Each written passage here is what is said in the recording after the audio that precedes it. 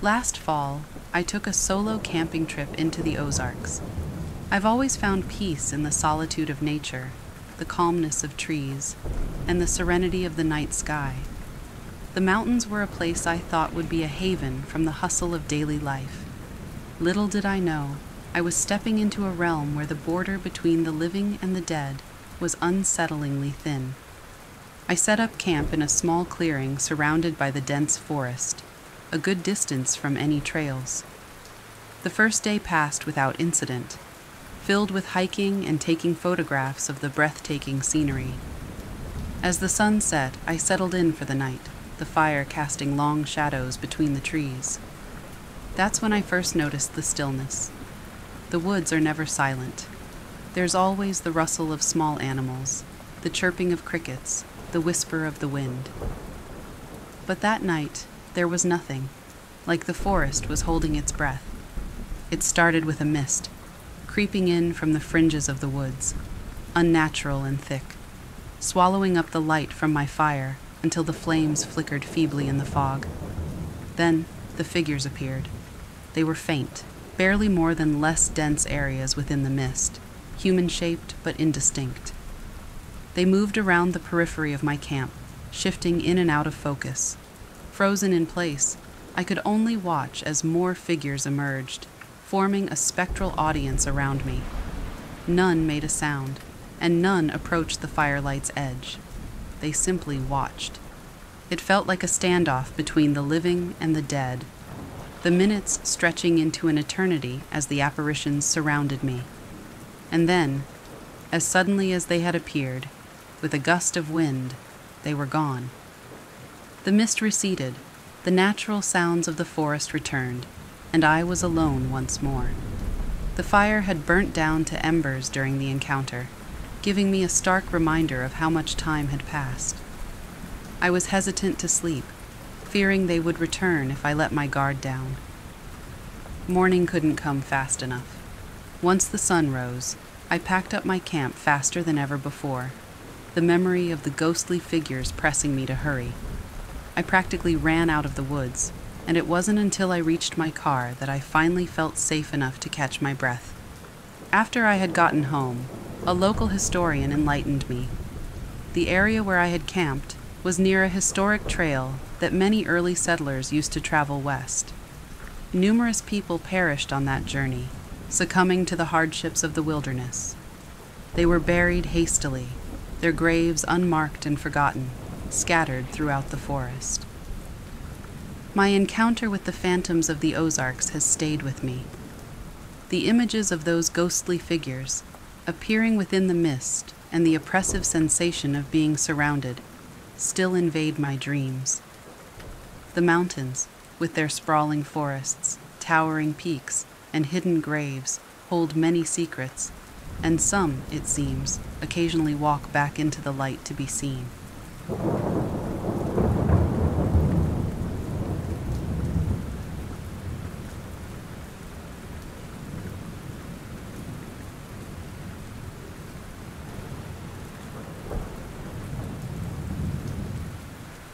In Eureka Springs, hidden by overgrowth and surrounded by a heavy silence, sits the skeleton of an old asylum. As an avid explorer of abandoned places, I couldn't resist the allure of its crumbling walls and the secrets they held. I had heard the local tales of strange happenings, ghostly sightings, and an oppressive aura of despair that clung to the place. Despite this, or perhaps because of it, I found myself drawn there on a cool autumn afternoon, camera in hand. The asylum was a haunting sight, with nature clawing back every inch of the grounds. Inside, it was much the same. Time had peeled the paint from the walls, and debris littered the hallways. Each step I took kicked up years of dust, and the only sound was the distant caw of crows outside. As I explored, I entered what looked to have been a patient's room, relatively intact compared to others, and there, among the decay, I found a diary, its pages yellowed with age, the leather cover worn. Compelled by curiosity, I perched on a broken chair and began to read, the silence of the asylum pressing in around me. The diary belonged to a woman who had been a patient there. Her entries started as mundane, detailing her confusion, her life within the asylum walls, and her growing despair. But as the pages turned, her writings took on a frantic tone. She began to speak of a presence, a malevolent spirit she called the Shadow Man. She wrote of how the Shadow Man whispered cruel things, how he reveled in the anguish of the patients, and how he seemed to feed off the darkness that enveloped their lives. Her descriptions grew more vivid with each encounter the chill of his touch, the way the shadows seemed to twist into sinister shapes in his presence, the way darkness seemed to deepen, consuming the light around him. One entry stood out a harrowing account of a night the Shadow Man had come to her. She had been lying in bed, awake, the moon offering meager light through the barred window. Her room had grown inexplicably cold, and then she'd felt it a hand, icy and forceful, gripping her leg, pulling her. She had tried to scream, but no sound escaped. And then she'd seen him in the corner, a darker void in the darkness, watching, whispering words she couldn't quite hear, but felt like needles in her mind. I sat, frozen, her words painting a terrifying image that lingered behind my eyelids. The room felt colder, the shadows within stretching as the sun dipped lower outside. That's when I heard it a whisper, so soft it could have been my imagination, yet it prickled the hair on the back of my neck. Rattled, I shoved the diary into my bag, suddenly eager to escape the oppressive atmosphere of the room, to get away from the shadows that seemed just a bit too animate. I stumbled from the room, my footsteps quickening as I navigated the debris strewn corridors, the building seeming to warp around me into a menacing labyrinth. As I emerged into the waning sunlight, I could have sworn I heard a low laugh resonating from the bowels of the asylum, a sound devoid of any humor, only promising darkness. I didn't look back, not until I was well away from the building and the suffocating aura it exuded. I've kept the diary, a chilling memento of that day. Sometimes, when the night is quiet and I dare to revisit its pages, I swear the temperature in my room drops several degrees and the shadows twitch just slightly. The whispers of the past, it seems, don't always like to be left behind.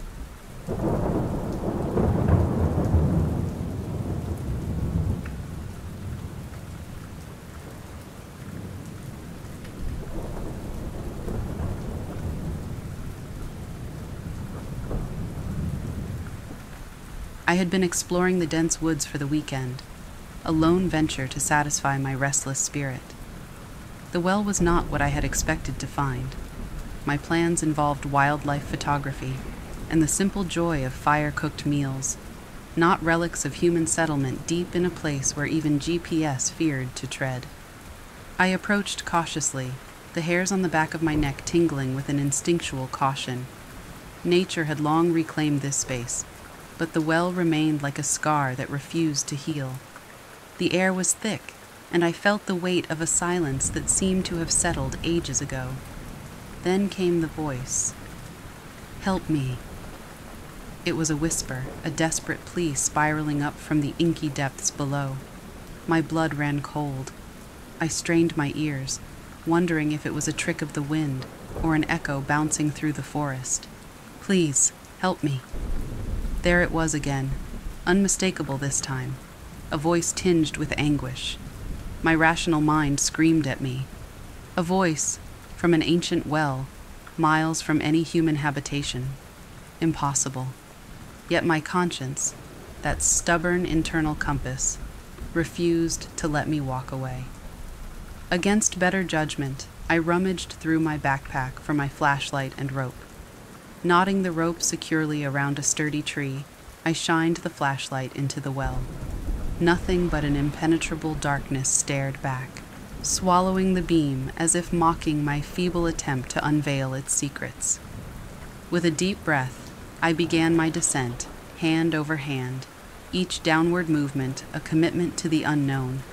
The walls of the well closed in, damp and claustrophobic, and the air grew colder as I plunged further into the dark.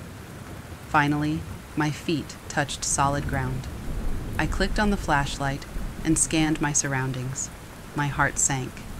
There was nothing there no trapped animal, no lost hiker, just a small vacant underground chamber with walls of stone and earth. The reality of my situation hit me like a wave. I was alone, in an ancient well, chasing a voice that couldn't possibly exist. I felt foolish and unsettled, unnerved by the echoing silence that now filled the space. As I began my ascent, pulling myself up the rope, a chilling thought crawled into my mind. What if the voice wasn't coming from the bottom, but from somewhere above? The realization propelled me faster, my muscles aching as I neared the top. When I finally emerged from the well, gasping for air, I looked around frantically. The forest appeared the same, indifferent to my turmoil, but the weight of unseen eyes pressed upon me. I pulled up the rope, packed my gear, and without a backward glance, retreated from that haunted place. The hike back to camp was a blur, my thoughts a jumble of relief and apprehension. Had I imagined it all? A trick of acoustics, perhaps. But what about that insistent plea, so filled with raw emotion? I broke camp the following morning, cutting my trip short. As I made my way out of the forest, I realized that I was leaving with more than just photographs and memories. I was taking a piece of the forest's unsettling enigma with me, a riddle that would forever remain unsolved. I never returned to that well, never sought it out on later trips or on any maps. Some mysteries, I decided, are better left as they are unexplained echoes in the wilderness of both the world and the mind. Yet, the voice from the well has never left me, its plea lingering in quiet moments, forever raising questions that dare not be answered.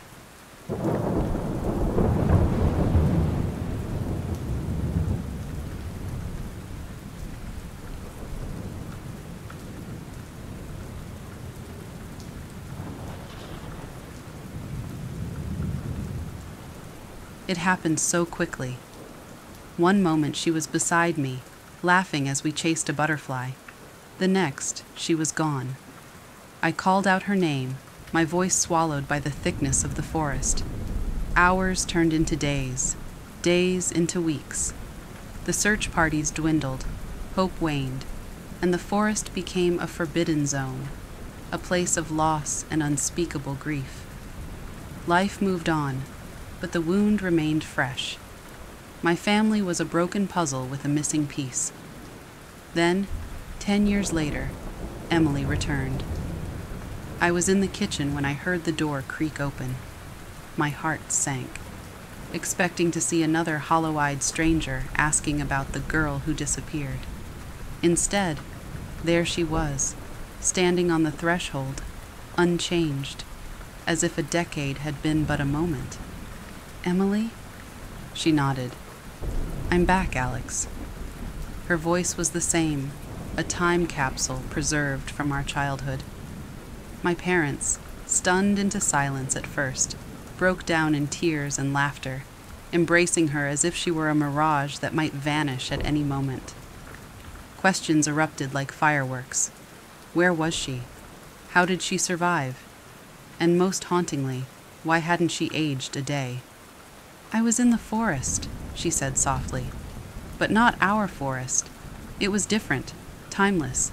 I tried to find my way back, but couldn't. And then, suddenly, I was here. She spoke of a realm where trees whispered secrets and streams flowed with an ethereal glow. A world almost magical, but also capricious, indifferent to human notions of time and age. Yet she couldn't explain how she had returned only that the forest had let her go. Authorities were baffled. doctors examined her, finding not a single mark of a decade long ordeal. Friends and relatives, once jubilant, grew quiet, unnerved by her unchanging presence. But to me, she was still Emily, the sister I had lost and miraculously regained. We returned to the forest, hand in hand, stepping over roots and rocks as we had as children. She led me to the spot where she had vanished, an unremarkable clearing marked only by a lone, gnarled tree. Here, she said, this is where it happened. I looked around, half expecting the air to shimmer, or the ground to give way, revealing the magical realm she had described. But the forest remained just a forest, beautiful but silent. Are you okay? I asked, my voice tinged with concern and a hint of sorrow. How do you rebuild a decade of lost time? She smiled, that same radiant smile that had vanished and then reappeared, unchanged. I am Alex. It's not about the time we lost, but the moments we still have. And so we walked back, each footfall a step toward an uncertain but hopeful future. Emily was back, a walking mystery, a timeless child in a world bound by clocks and calendars. Yet, as we left the forest, I couldn't shake the feeling that another realm lay just beyond the veil of leaves and shadows, waiting for the next unwary traveler to stray too far from the beaten path. But for now, the forest was once again our playground, a little less mysterious, perhaps, but no less wondrous.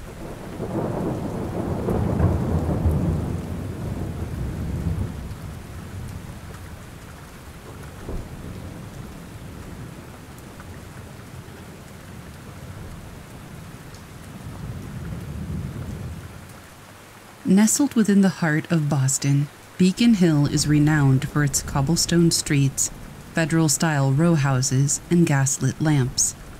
I had recently moved into a quaint brownstone there, relishing the historical ambiance the neighborhood offered. The apartment was cozy, its walls echoing stories from the past. The previous owner had left behind an antique gramophone, a relic from a bygone era. I found it charming, and it quickly became the centerpiece of my living room. One evening, after a particularly tiring day, I was jolted awake by a soft melody playing from the gramophone. Confused, since I hadn't acquired any records for it yet, I approached the device. The turntable spun, but there was no record. The music was hauntingly beautiful, an old ballad of love and loss. As the tune played, a sudden drop in temperature enveloped the room. My breath became visible, forming small puffs of mist. And then, in the dim light of the gas lamp, I saw her. A translucent figure, dressed in a flowing gown from the 1800s, waltzing alone, her movements graceful and full of longing. Her eyes, deep pools of sadness, seemed to be searching for someone. Not wanting to disturb her, I watched in silent awe. As the final notes of the melody faded, she extended her hand as if beckoning a partner to join her. But alas, no one came. With a forlorn sigh, she vanished, leaving the room in silence. The following day, eager to understand what I had just witnessed, I visited the local library. Delving into the history of my residence, I uncovered a tragic love story from the 19th century. Eleanor, a talented violinist, lived in my very apartment. She was betrothed to a sailor, Thomas, who had promised to return to her after his final voyage. To celebrate their upcoming nuptials, Eleanor had composed a ballad, which she played on her gramophone each night, awaiting Thomas's return. However, he never did. Heartbroken, Eleanor passed away from what folks termed a broken heart. Now it seems her spirit remains tethered to the brownstone of Beacon Hill, forever waiting for her lover's return, seeking solace in the melody of their unfinished love story. Some nights, when the wind howls and the gas lamps flicker, I play the gramophone, filling the room with music, hoping to give Eleanor a few moments of peace and a dance with the memories of her lost love.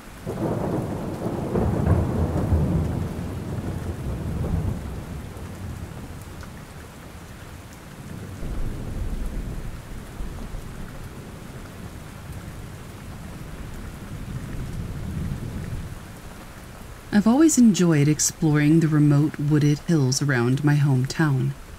There's something magical about being alone among the birds and trees. One Saturday, I decided to hike farther than usual, bringing along a map and a compass. After a few hours, I came to a rocky bluff. In the valley below sat a small, decrepit house, hidden in a hollow between the hills. Curious, I scrambled down for a closer look. The place seemed long abandoned. I circled the sagging porch, peering in the dusty windows. Inside was a simple one room home, modestly furnished. Books and faded newspapers were scattered across the floor as if the owner had left in a hurry. A noise behind made me spin around. At the edge of the tree stood a woman, silently watching me. Her old fashioned dress was filthy and torn, her gray hair in a tangled mess. Surprised, I asked if she lived here. She only stared, expressionless. Uneasy, I turned to leave. Glancing back, I saw her stepping silently into the brush. I hurried up the bluff, confused by the strange encounter. At home, I searched local historical records, finding no indication anyone had lived in that remote hollow for decades. The mysterious woman had seemed like a ghost haunting the abandoned house. Intrigued, I decided to return. The next Saturday, I hiked back to the hollow, entering the house to explore further. Nothing had changed from my first visit. Curiously, there was no electricity or plumbing. It was like stepping back in time. I searched for some clue as to who had lived here, finding only a tarnished silver pocket watch engraved with the initials JB. Just then, movement outside caught my eye. The same elderly woman stood in the yard, staring vacantly. I approached her slowly, asking again who she was.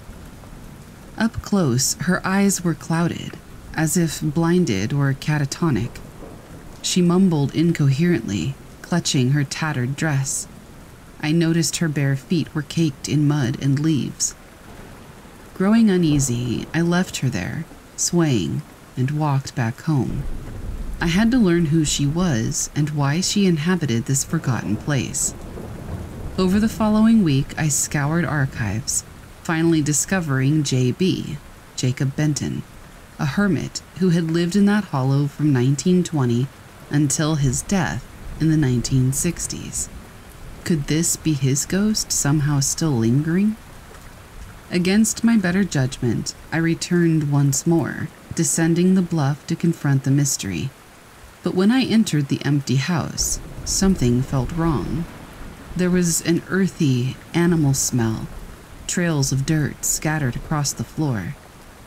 In Jacob's bedroom, the closet door now hung open, Inside, makeshift bedding lay on the floor, leaves and twigs scattered about. My pulse quickened. Someone had been sleeping here. Back outside, the yard was empty, the woman nowhere to be seen. Uneasy, I left to hike home. Had she been real at all? I now feared returning to that house, yet felt compelled to unravel its secrets but my curiosity will remain unfulfilled. The next weekend, I searched the hollow in vain. The house and the woman had vanished without a trace, leaving only unanswered questions.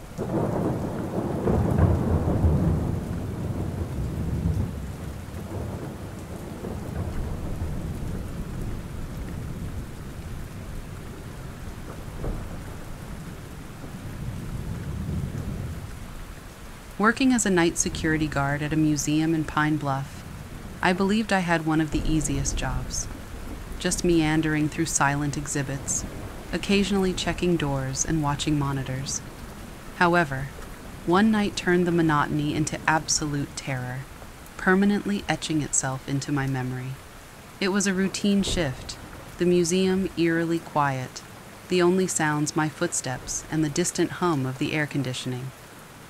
I was making my rounds, walking through a new exhibit on ancient artifacts, items belonging to a civilization renowned for their potent connection to the spiritual realm. I remember stopping to study a ceremonial mask, its features contorted into an eternal scream, supposedly used in rituals to ward off malevolent spirits. That's when I heard the first whisper. Turning around, I found nothing but the stillness of the exhibit. Chalking it up to my imagination, I continued on. However, the whispers grew, a chorus of unintelligible murmurs bouncing off the walls. Heart racing, I ventured deeper into the exhibit, where a set of ceremonial daggers were displayed. And that's when I saw it one of the daggers, floating in midair, as if held by invisible hands. And that's when I saw it one of the daggers, floating in midair, as if held by invisible hands. Before I could process the scene, it clattered to the floor. The whispers morphed into a cacophony of angry voices. Panic took over, and I ran towards the main hall, but stopped dead in my tracks. The artifacts were animating, statues were turning their heads to watch me, painted eyes following my every move, and pottery shards assembling, suspended in the air, forming incomplete, hovering figures. The air grew dense, and a deep, guttural growl filled the space. It was coming from the mask I had admired earlier, except now, it wasn't just a carving. The mask was alive, the mouth moving, the sound resonating through the bones of the building. It spoke in a language I couldn't understand, but the message was clear anger and a warning. In sheer terror, I bolted, not looking back, my breaths ragged and heart feeling like it was about to burst. I didn't slow down until I was in the safety of the security office, slamming the door shut and locking it. Through the monitors, I watched the artifacts slowly return to their inanimate state, the shadows receding as though nothing had occurred. I quit the job immediately after that night. The museum conducted multiple investigations, checking the footage, which inexplicably showed nothing but me running in panic through empty, silent rooms. They concluded it was a stress induced episode, but I know what I witnessed. That night at the museum in Pine Bluff tore down the rational world around me, introducing me to a realm where ancient spirits stirred to life within their treasured artifacts.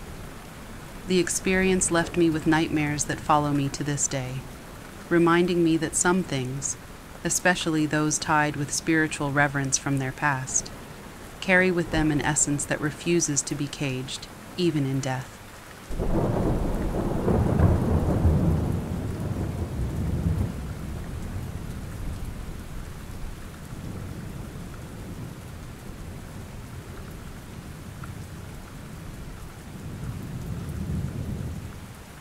I'm not someone who believes in monsters or the supernatural, but after what I saw at my uncle's remote cabin, I don't know what to believe. It started as a normal visit to his cabin in the middle of the woods. I was bored one sunny afternoon and decided to explore the surrounding forest. I wandered pretty far from the cabin into the dense trees. Eventually, I stumbled onto a small shed tucked way back in the tree line. Scrawled on the wooden door in what looked like dried blood were strange symbols and writings I didn't recognize. A big padlock was hanging on the door, but it was unlocked. Against my better judgment, curiosity got the best of me. I slowly opened the creaky door and went inside. It was pitch black and smelled like mold, much bigger inside than it looked from the outside. I pulled out my phone and turned on the flashlight. That's when I saw it. Crouched in the corner was this pale, naked creature with sunken black eyes and rows of jagged, sharp teeth. It was hairless and unnaturally skinny, with long, spindly limbs. It looked right at me, eyes shining with some sort of awareness that didn't seem natural or human. I was frozen in terror and disgust. It made this weird, scuttling movement, dragging itself sideways along the wall like a crab, never taking its eyes off me. That snapped me out of it. I knew I needed to get the hell out of there. I slammed the door shut and started running blindly into the woods. Behind me, I could hear it shrieking, this ear piercing, inhuman scream.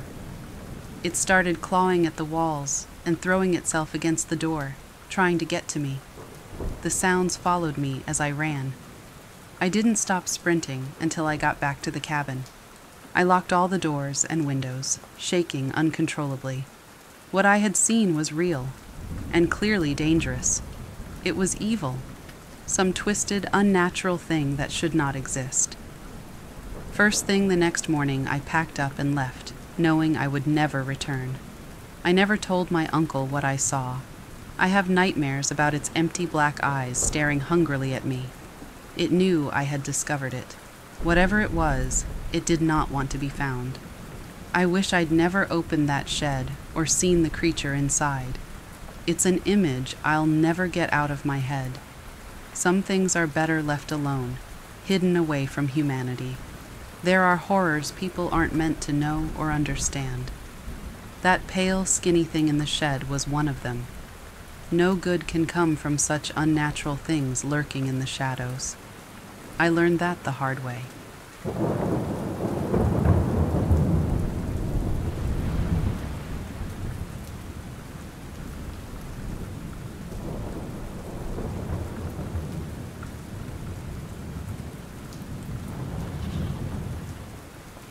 Was never a fan of long haul flights, hours confined in a metal tube surrounded by strangers. To pass the time, I usually toggled between in flight movies and the digital tracker that displayed our plane's current location. On this particular international flight, I decided to check the tracker again, something to take my mind off the tightening muscles in my back. A quick glance at the screen and my eyes narrowed. We were way off course. According to the map, our plane was headed toward an island in the middle of the ocean. An island that I'm pretty sure wasn't even supposed to be there. Puzzled, I hit the call button for the flight attendant. When she arrived, I pointed at the screen. Is this thing accurate? I said. She leaned in to look. Oh, these trackers can be a little glitchy sometimes. Don't worry, the pilots know where we're going. Despite her reassurances, the sinking feeling in my gut persisted. I couldn't ignore the hard data staring back at me. We were heading into uncharted territory, and it seemed like I was the only one who cared. An hour passed, then two. The tracker showed us getting closer to the mysterious island, while the rest of the plane's occupants were either asleep or engrossed in their entertainment screens. I had to do something. I unbuckled my seatbelt and headed for the restroom, strategically located near the cockpit. Waiting for the perfect moment, I saw a flight attendant push a cart into the galley. I seized the opportunity, knocking softly on the cockpit door. One of the pilots opened it, a hint of annoyance in his eyes. Can I help you? I'm sorry for the interruption, I said quickly. But according to the in flight tracker, we're heading toward an island that's not on any map?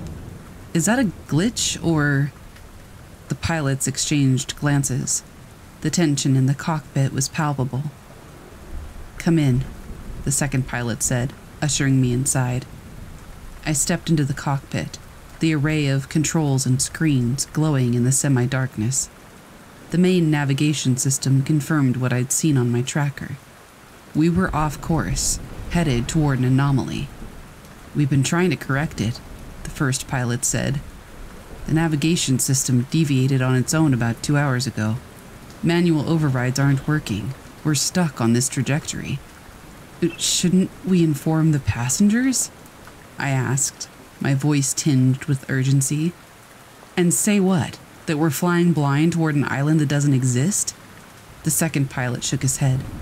Panic is the last thing we need. For a brief moment, I contemplated rushing out, alerting everyone, forcing the issue. But the potential chaos held me back. What good would it do? Look, said the first pilot, if you have any ideas on how to fix this, we're all ears. Otherwise, please return to your seat. We're doing everything we can. Resigned, I exited the cockpit, closing the door behind me. I returned to my seat, eyes flicking back to the tracker.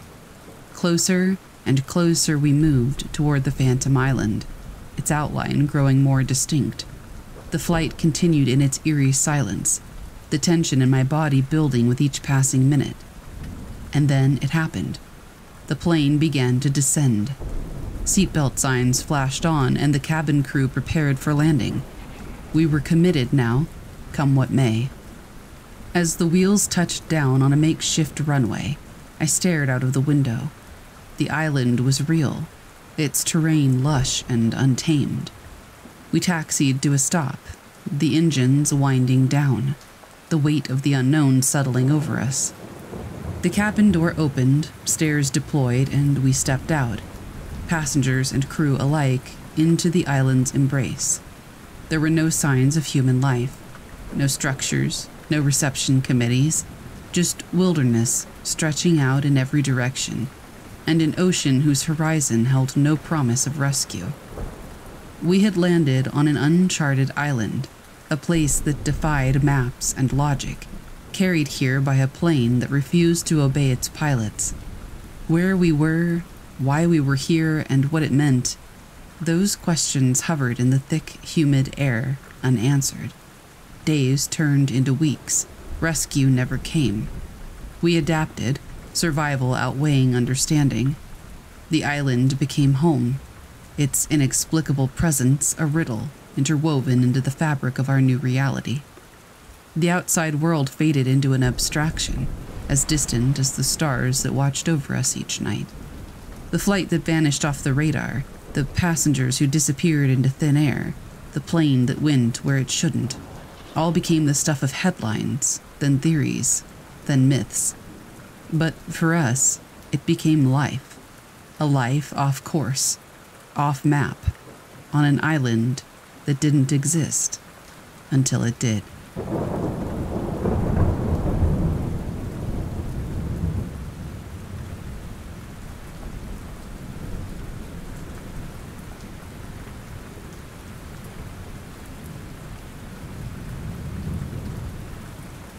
Couple of years ago, I took a trip to Helena, West Helena, drawn by the historical allure and the chilling stories that surrounded the old plantations there.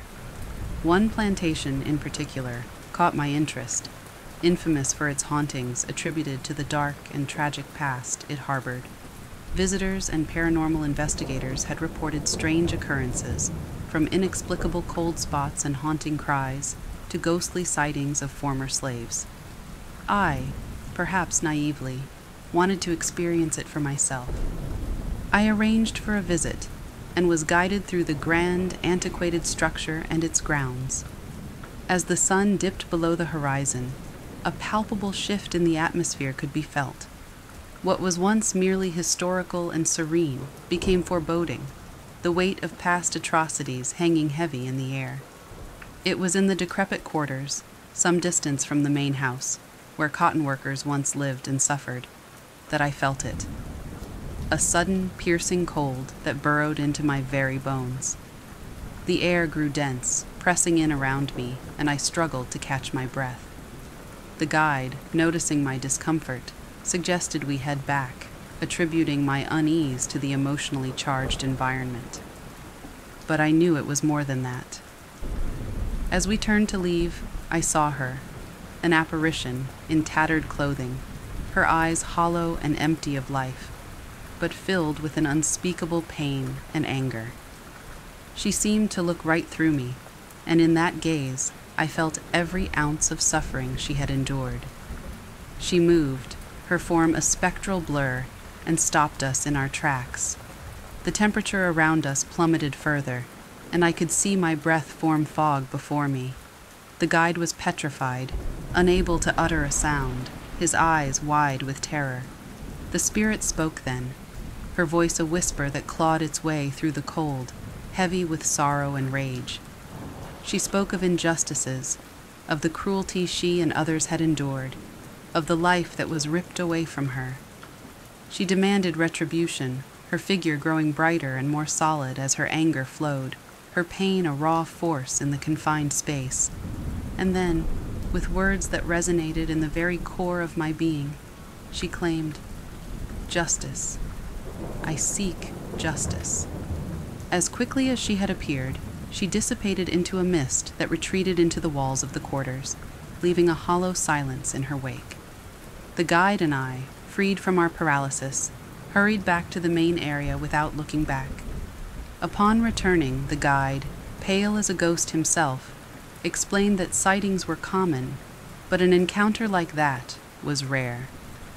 He believed that the spirits of those who suffered there were restless, seeking closure and justice that they never received in life. That encounter shook me to my core. The look in the spirit's eyes, the pain and the longing for justice, was something that haunted me long after. It was a stark reminder of the dark chapters of our history, of the voices silenced and forgotten, and the echoes of that pain that linger in places stained with such suffering. The experience etched into my understanding an intimate portrait of sorrow that history books could never convey, making me a vessel for their plea for remembrance and justice.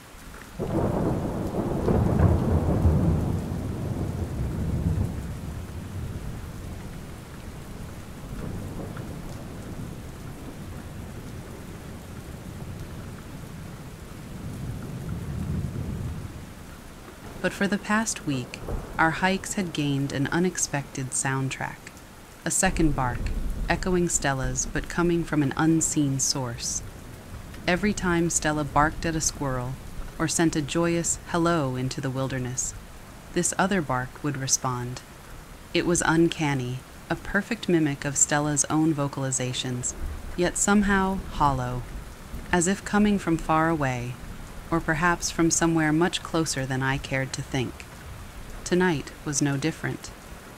As we stepped onto the familiar path, Stella let out a playful bark, and sure enough, the second bark replied. This phantom canine always seemed to be just out of sight, hiding behind a curtain of trees and leaves. I had considered every reasonable explanation a neighbor's dog, an animal with a similar sounding call even the playful acoustics of the forest, but the more I heard it, the less it sounded like any of those things. Tonight, my curiosity reached its boiling point. I decided to find out once and for all where this other bark was coming from. Come on, Stella. Let's find your friend, I said, a note of forced cheerfulness in my voice. Stella looked up at me, ears perked as if she too sensed that this hike was different. I led her off the main trail, following the direction from which the second bark seemed to emanate. Stella hesitated, then followed, her steps more cautious than usual. The second bark sounded again, closer this time, pulling us deeper into the woods. The sun was setting, and shadows stretched long fingers across the path, making the trees appear taller and more menacing.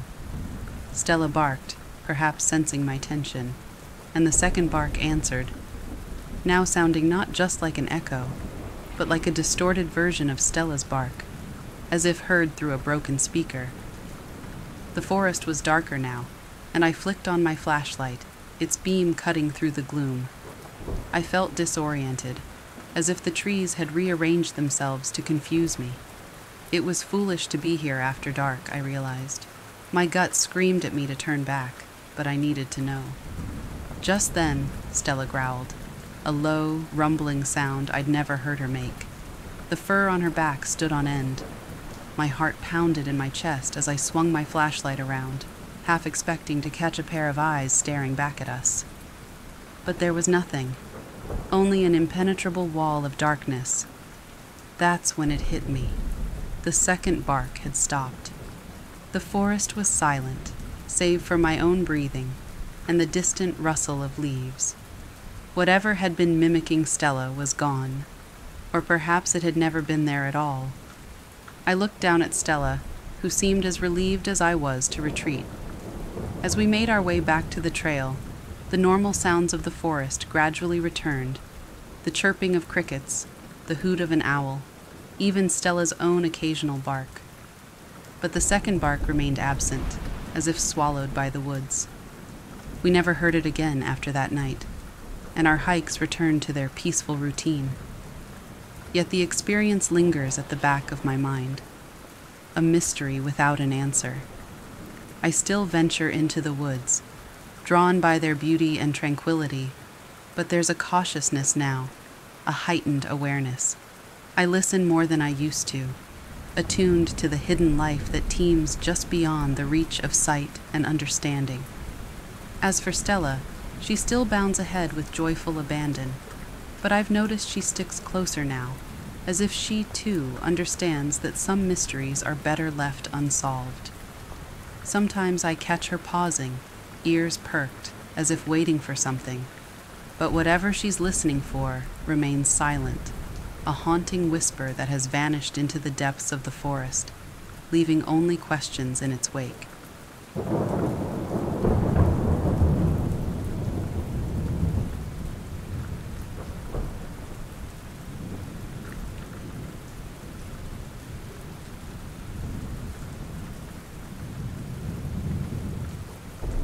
The hiking trail through the forest was familiar.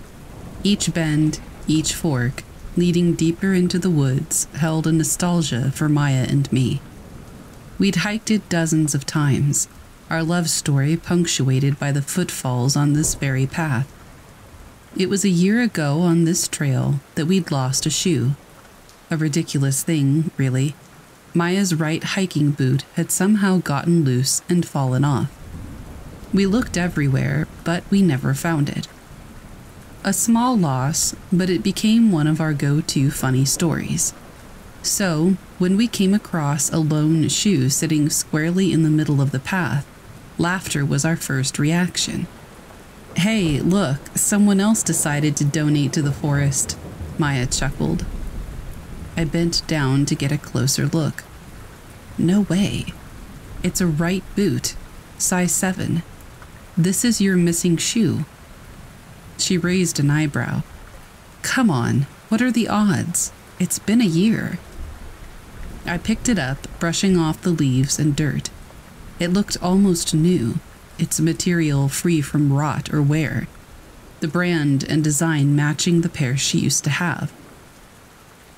This is too weird, Maya said, taking the shoe from my hands.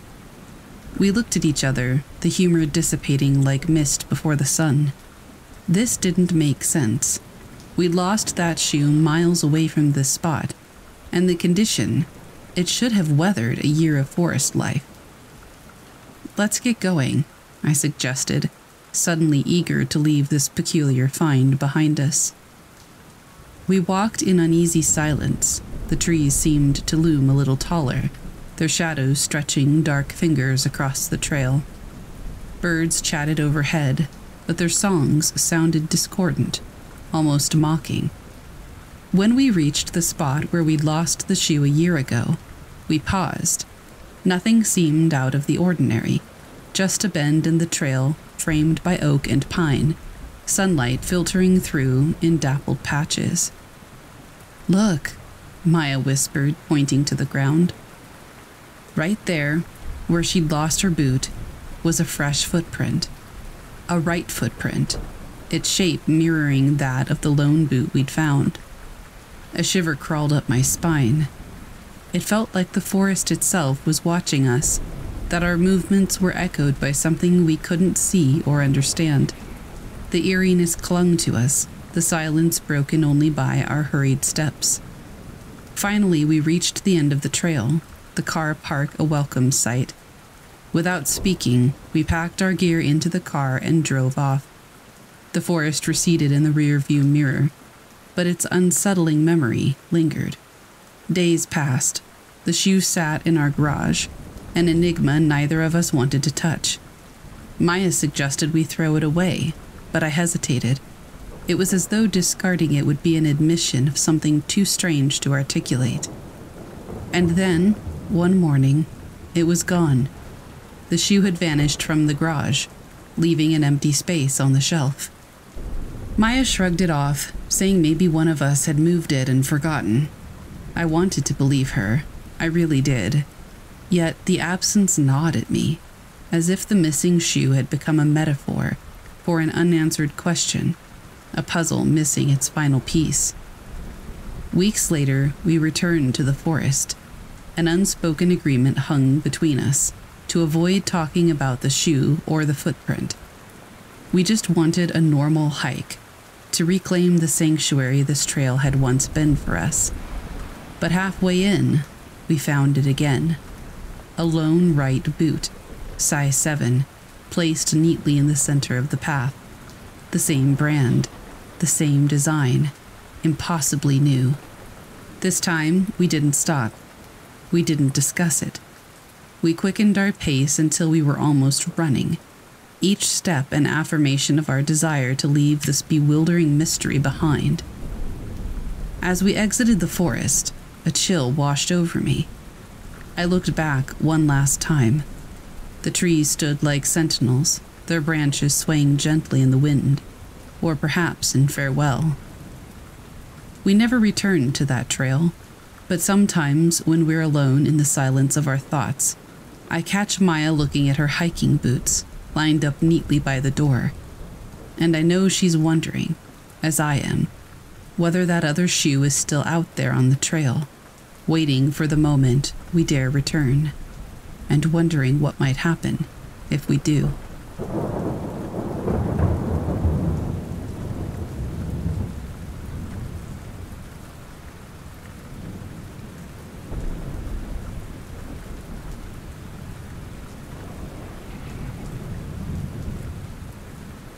Ever walk into a room and suddenly feel a chill?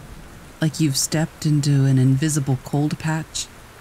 That started happening in my house, specifically in the hallway that leads to the bathroom. I'd be walking, maybe humming a tune, and then I'd hit that spot.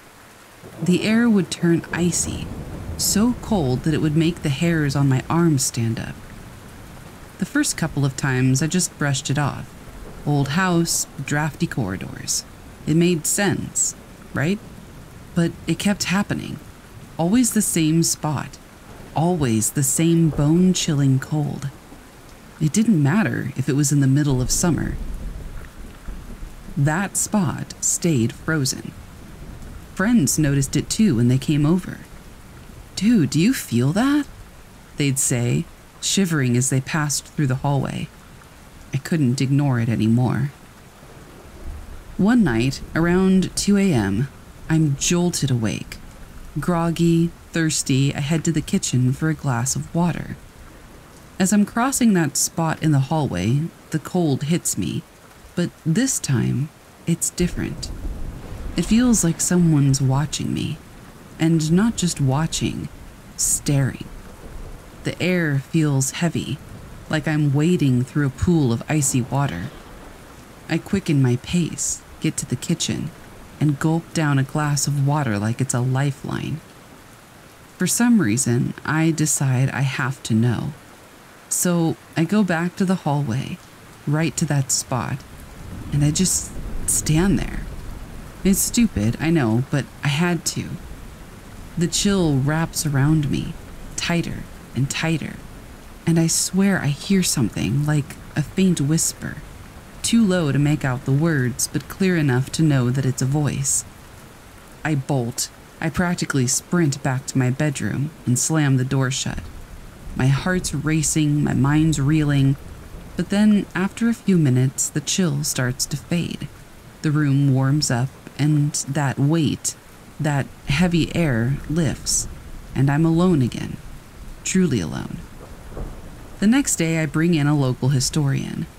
Bit of a stretch, but I had to dig deeper.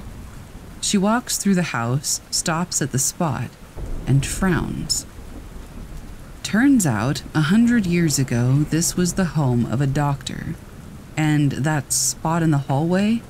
Well, that's where he would examine his patients, some of whom didn't make it. I still feel the cold, but it doesn't really scare me anymore. Maybe it's a draft, but maybe it's something else, a remnant from a different time. Either way, I've learned to give that spot the space it seems to demand. It's a part of the house, a part of its history, a cold patch that holds on to something that most of us will probably never understand.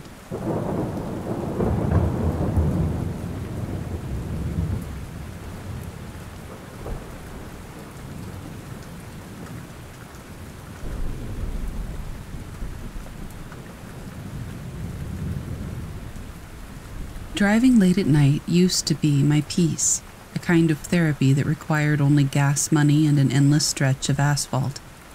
The hum of the engine, the crisp air pouring in through the slightly open window. It was bliss, until it wasn't. I had veered off the main highway onto some forgotten road, meandering through open farmland. Cornfields waved eerily in the night wind, forming dark walls on either side of me. No houses, no streetlights, just the glow of my headlights and the hypnotic emptiness of the road. Then the car choked, engine sputtering, dashboard lights flickering like dying stars. My foot jabbed at the gas pedal, but it was useless. Momentum carried me another hundred feet before the car stalled completely. The dashboard went dark, and I was left with the high beams of my headlights casting feeble rays into the abyss ahead. I cursed, slamming my hands on the steering wheel. Come on, not now. Phone out. No signal. Perfect. Glancing at the cornfields, I fought the instinctive dread curling into my stomach. I should have stayed on the highway. Just when I thought it couldn't get worse, a light flooded the car. Bright, blinding, and entirely unnatural.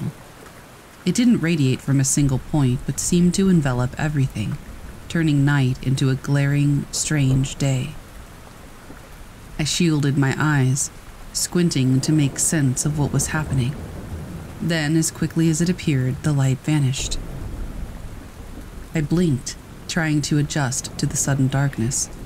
My car roared back to life dashboard lights, engine, everything, as if nothing had happened. I checked my phone, it had a full signal, the clock displaying a time two hours later than the last moment I remembered. With a trembling hand, I shifted into drive, eager to leave this damned road. The car moved, but something in the rearview mirror caught my eye. Among the rows of corn, something tall and slender moved, a distorted figure silhouetted against the dark receding into the depths of the field. My foot slammed onto the accelerator, rocketing me away from whatever had just occurred. The rest of the ride home was a blur, my mind racing faster than the car's engine. I finally pulled into my driveway, safe under the familiar glow of my porch light. Yet, as I turned off the engine, I glanced at the passenger seat. There, lying next to me, was a stalk of corn freshly pulled from the ground, dirt still clinging to its roots. And etched into my dashboard, now burned into it, were unfamiliar symbols, cryptic and intricate, the meaning of which I couldn't fathom. I still drive, but never late at night, and never off the main highway. Whatever happened on that road, whatever that blinding light was, whatever the figure in the cornfield meant. I don't want answers. Some things are better left unknown. But sometimes when I start my car, the dashboard lights flicker, and I find unfamiliar roads on my GPS, routes I never took, but feel oddly compelled to follow. And though I always resist, the urge gets stronger each time, as if something out there isn't done with me yet. We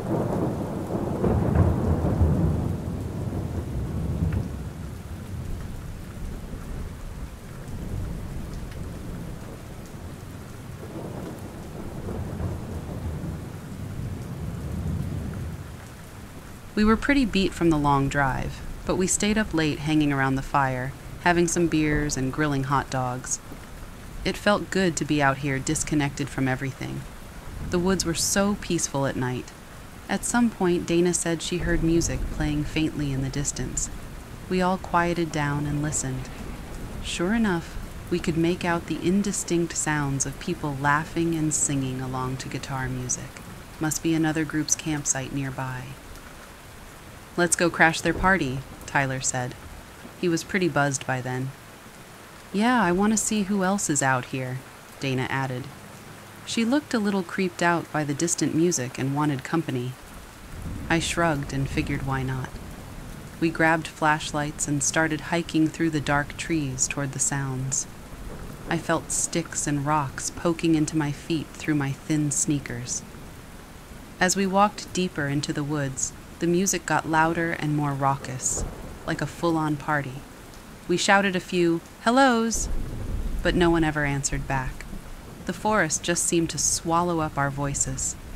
We kept on toward the sound of singing and laughing, even though the hair on my arms was standing up.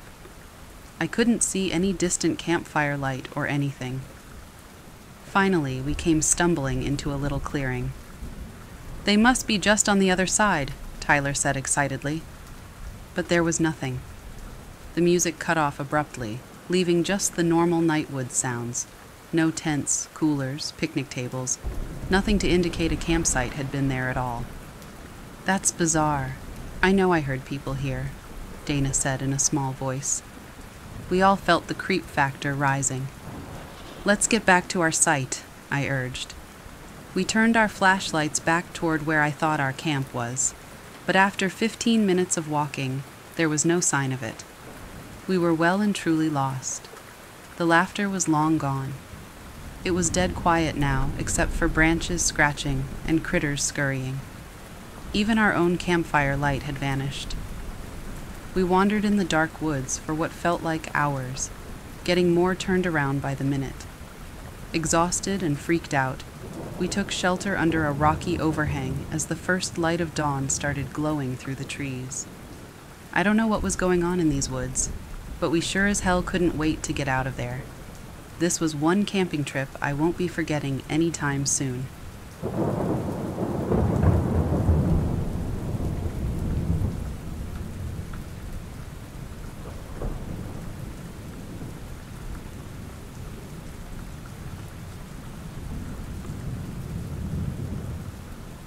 Nightfall in the forest has its own language.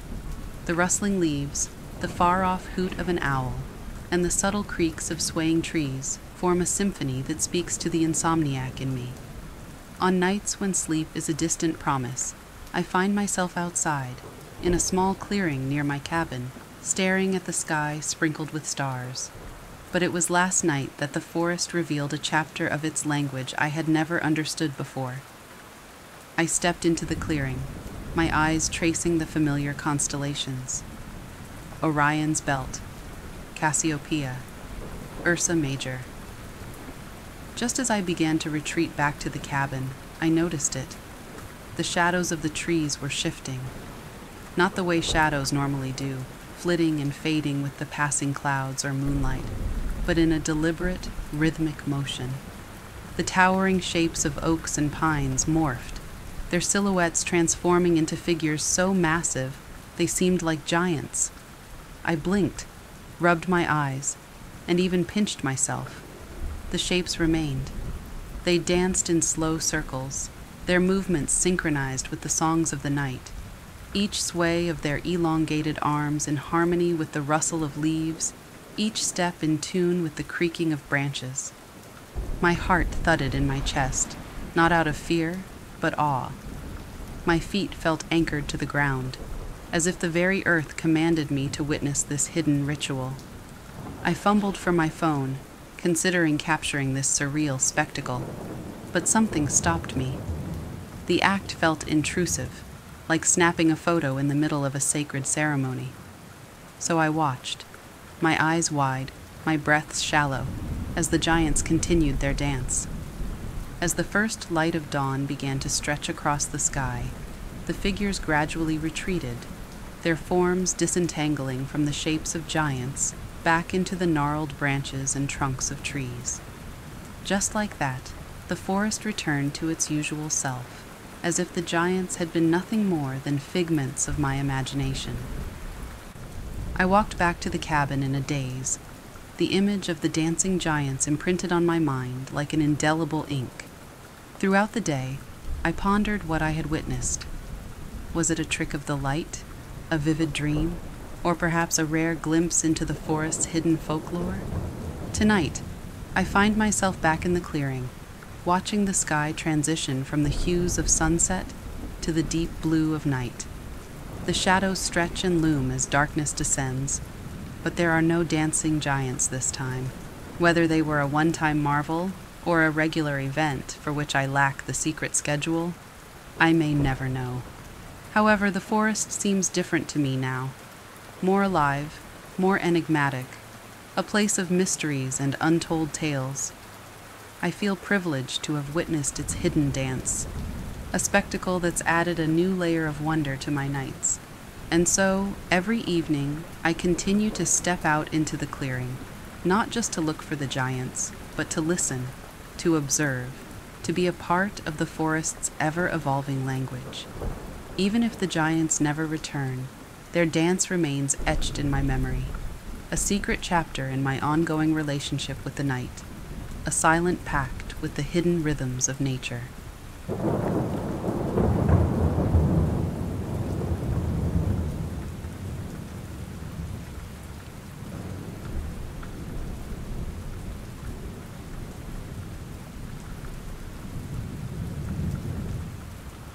It first appeared 10 miles in, just beyond a bend in the trail where the pine trees grew thick enough to turn daylight into dusk. A small wooden totem figure, weathered but intricately carved, a fusion of animal shapes and human faces, staked into the ground like a miniature sentry. I figured it was a trail marker or a backpacker's forgotten memento, so I took a photo and moved on. Another five miles later, there it was again. Same totem, same details, same inscrutable expression on its carved face. I picked it up half expecting it to be the same one I'd seen earlier, as if I'd somehow looped back on myself. But my GPS showed a straight trajectory, and I knew the trail well enough to rule out accidental backtracking. An odd coincidence, surely.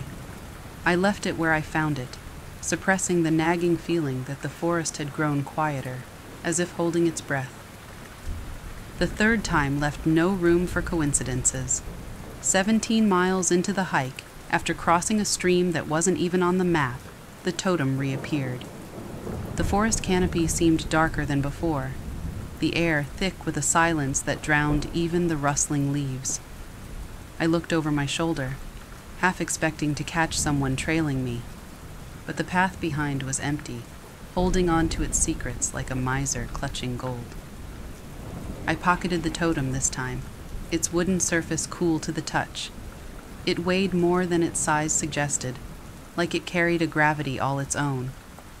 It was just wood and carving, I told myself.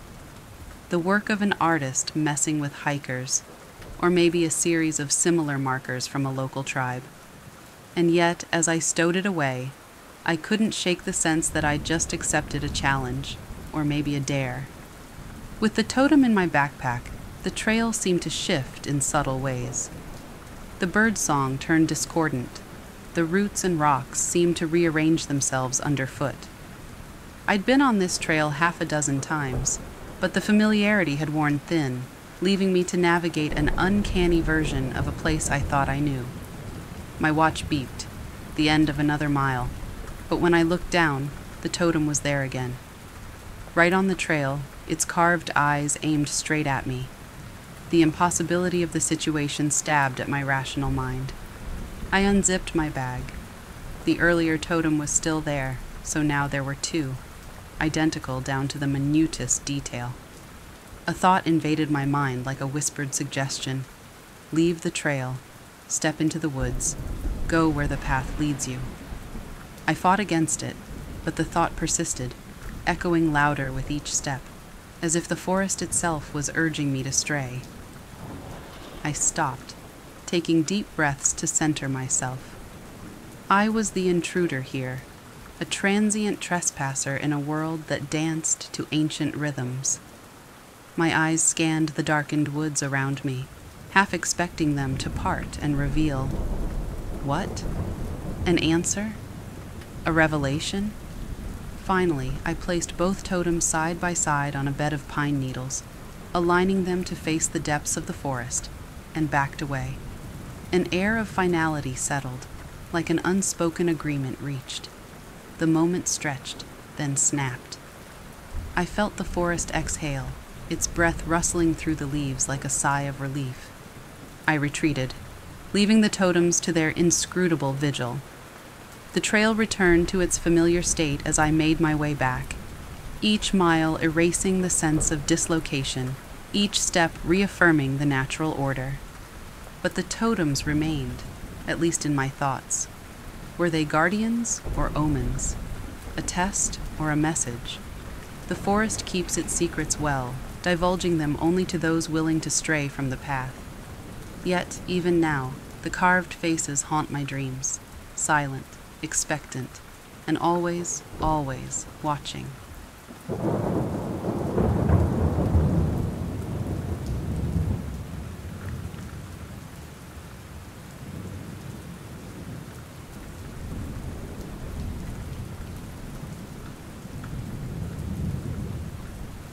It was mid October when I settled into an old style, somewhat run down house in Little Rock. The price was a steal, and the neighborhood was drenched in the kind of history that made every building intriguing. The house itself was a classic, probably around a century old, with creaky wooden floors, a grand staircase, and, most notably, a spacious attic with a peculiar, tiny door. The first few days went by uneventfully as I busied myself with unpacking and cleaning. However, about a week after moving in, the oddities began. I was brushing my teeth one night when I heard a soft, indistinct murmur. I paused, listening. It sounded like whispers, but I was alone, and it was late at night. The rational side of me attributed it to the wind or maybe the old pipes. I went to bed, pushing the eerie feeling aside. However, the whispers didn't stop. They grew more persistent, primarily at night, and seemed to emanate from the walls themselves, particularly from the direction of the attic. I could never make out any distinct words, but the tone. The tone was what unsettled me. It was as though I was overhearing a tense conversation charged with urgency. After several nights, Curiosity overcame my fear. I needed to know if there was anything in the attic. Maybe some old device was left there, or there were holes that let the wind in, creating these sounds. With a flashlight in my hand and my heart pounding, I ascended the narrow staircase to the attic one evening. The air in the attic was stale, thick with dust that danced in the beam of my flashlight.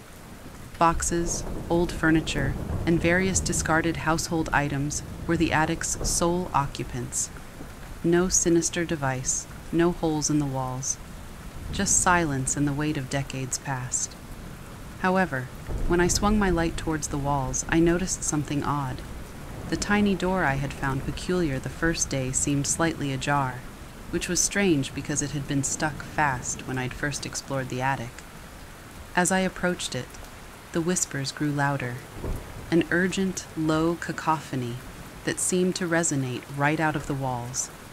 It felt like stepping into a stream, the sound washing over me, drowning out my thoughts. I reached out, hesitantly, and pushed the door open with a creaking that protested the movement. Inside, there was nothing but darkness and thick, oppressive silence that seemed to absorb the whispers. I was about to step inside when the temperature around me plummeted. The sudden cold was biting, tangible, like walking into an unseen cloud of ice. The flashlight flickered nervously in my hand, and the whispers crescendoed into a frantic hiss, surrounding me, urging me, pushing me. Panicked, I stumbled backward, out of the cold spot, and the flashlight beam steadied. With my heart in my throat, I slammed the tiny door shut, and as if I had muted a radio, the whispers stopped. The silence in the attic was deafening. I practically tripped over myself getting down the stairs and didn't stop until I was out of the house, gasping for air on the front lawn. I stayed with a friend that night, and within the week, I was out of the house, my curiosity extinguished entirely by fear. I did some research later and found out through local historical societies and a bit of personal digging into past residents that my charming old house had once been the residence of a family involved in spiritualism and seances during the late 1800s. The tiny door in the attic was part of a spirit room, a specific space created to communicate with the other side. I never went back to the house, and I never heard the whispers again. However, the memory of that cold, urgent hissing in the darkness isn't something I'll easily forget. It's one thing to hear about the city's haunted history. It's quite another to have lived in it, even for just a few weeks.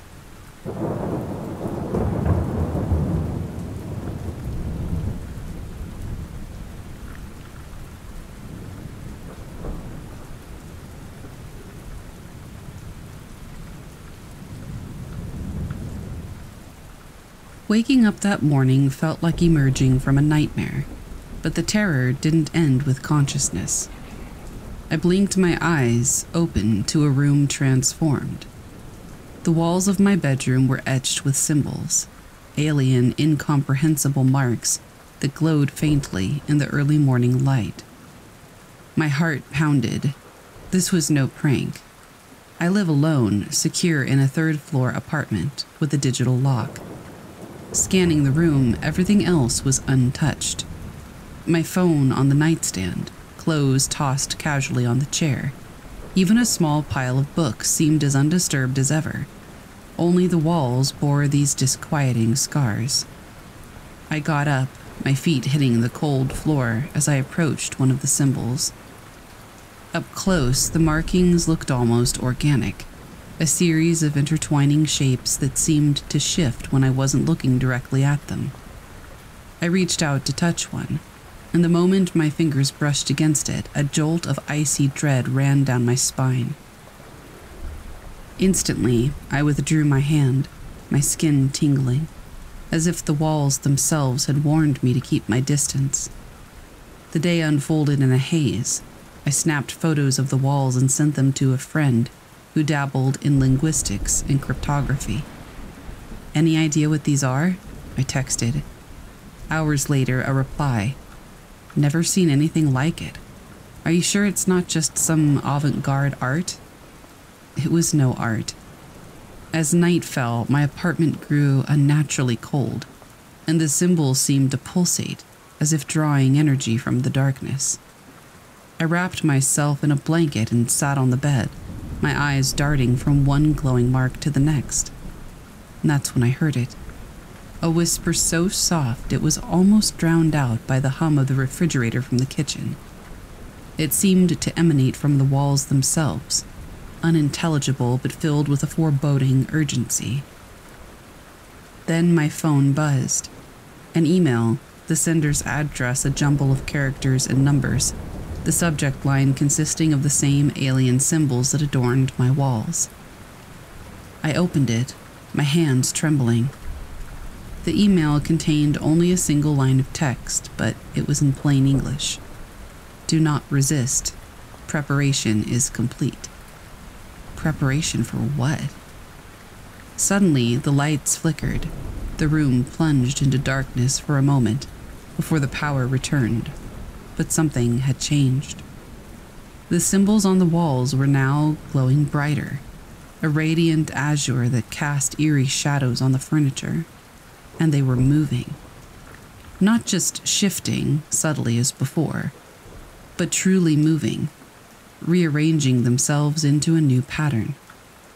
Before my eyes, they converged toward a single point on the wall the shapes merging into one large, complex symbol that seemed to pulsate with a life of its own.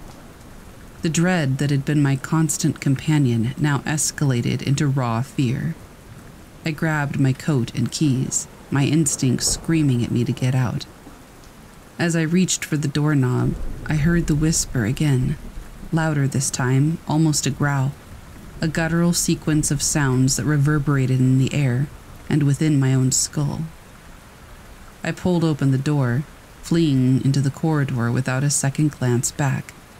But even as I pounded down the stairs and burst into the night, I knew escape was not that simple. My walls had become a canvas for something beyond my understanding, a message or a warning from entities unknown. The symbols are still there, haunting my dreams and my waking moments. I've tried painting over them, but they bleed through, their glow undiminished. Friends have come over, offering theories and potential solutions, everything from sage smudging to contacting paranormal investigators, but none have dared to touch the glyphs. I now sleep with the lights on, an uneasy truce with the incomprehensible. But the email haunts me, those words a constant echo. Do not resist, preparation is complete. And the same question lingers preparation for what? The dread remains an eternal undercurrent to my existence. I'm caught in a web of cosmic forces, a pawn in a game with rules I can't fathom. Every morning I wake to those walls, the symbols a constant reminder of my entanglement in something far larger and more terrifying than I'd ever imagined. And sometimes, in the dead of night, I hear whispers, new sounds, new sequences, each more urgent than the last. I can't shake the feeling that something is coming, something momentous and irrevocable. But what it is and what role these alien glyphs have in it remains maddeningly, terrifyingly unclear.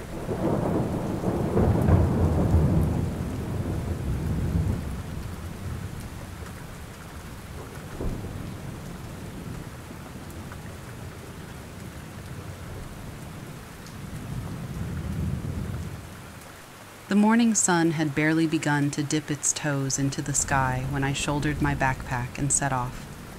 The trail ahead was a familiar one, winding through evergreen forests and alpine meadows. I was miles away from the nearest road, immersed in nature's solitude. That's why the footprints caught me so off guard. I first noticed them around midday, while taking a water break. A set of fresh footprints, imprinted in the moist earth, trailing behind me. My heart seized for a moment. This was a remote area, Encountering another hiker was unlikely, and there was something too deliberate about the footprints, each step precisely placed behind my own, as if tracing my exact path.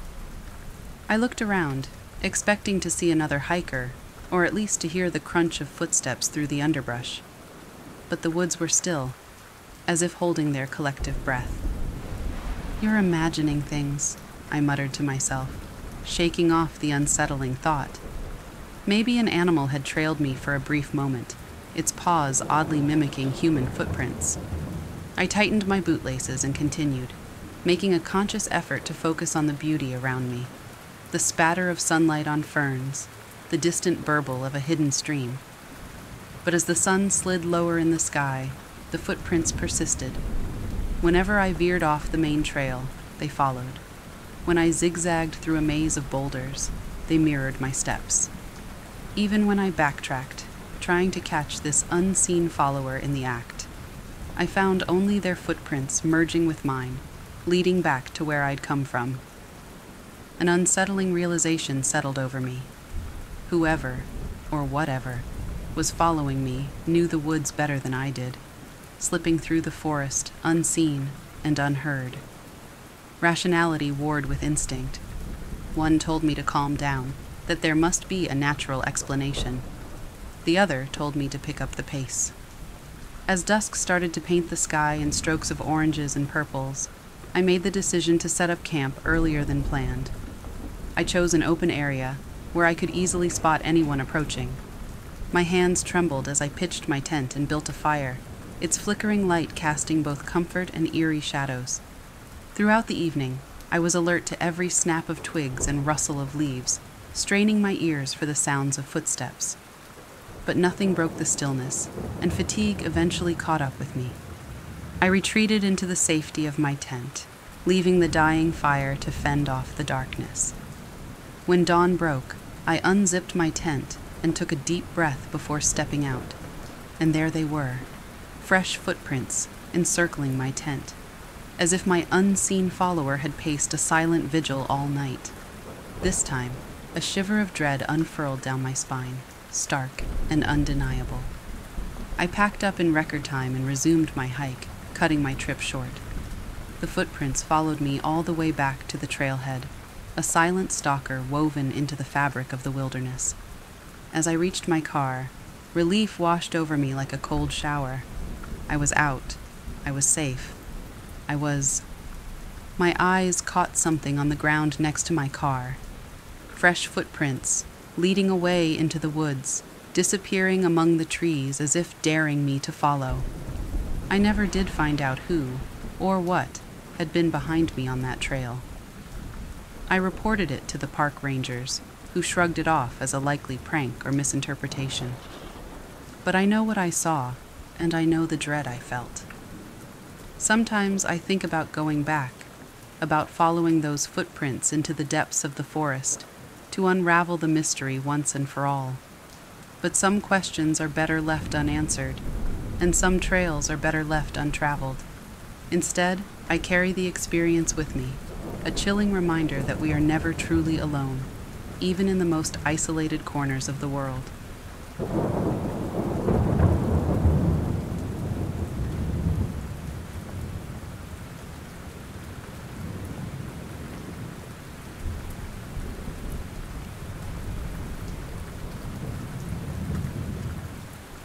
I worked as a tour guide at a renowned hotel in Fayetteville, a place shrouded in mystery and ghost stories.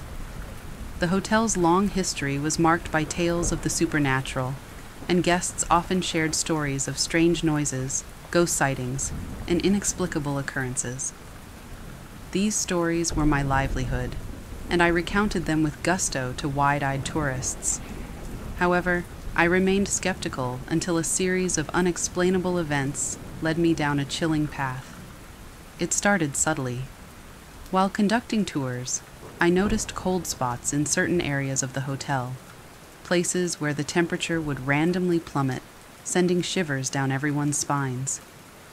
Guests noticed them too, and while they added to the thrill of the tour, I couldn't shake off the discomfort they stirred in me. The pivotal moment came one evening during the off season. While preparing for a reduced group tour, I heard what sounded like soft, desperate whispers emanating from one of the reputedly most haunted rooms. Intrigued and admittedly unnerved, I followed the sounds, my steps echoing through the nearly empty hallways. Upon entering the room, the temperature dropped significantly, but it wasn't just the cold that made me shiver. It was the palpable sense of sorrow that filled the space. The whispers grew more urgent, forming a single word Look. Compelled by a force I can't describe, I started searching the room, drawn to a spot on the floorboards that, oddly enough, felt colder than the rest. On a hunch, I secured permission to have the area inspected, and what we uncovered was nothing short of horrifying a hidden compartment containing a small, tattered journal and, most disturbingly, human remains. The authorities were summoned immediately. Upon investigation, they determined the remains were decades old. The journal, barely holding together, contained the writings of a woman who had stayed at the hotel.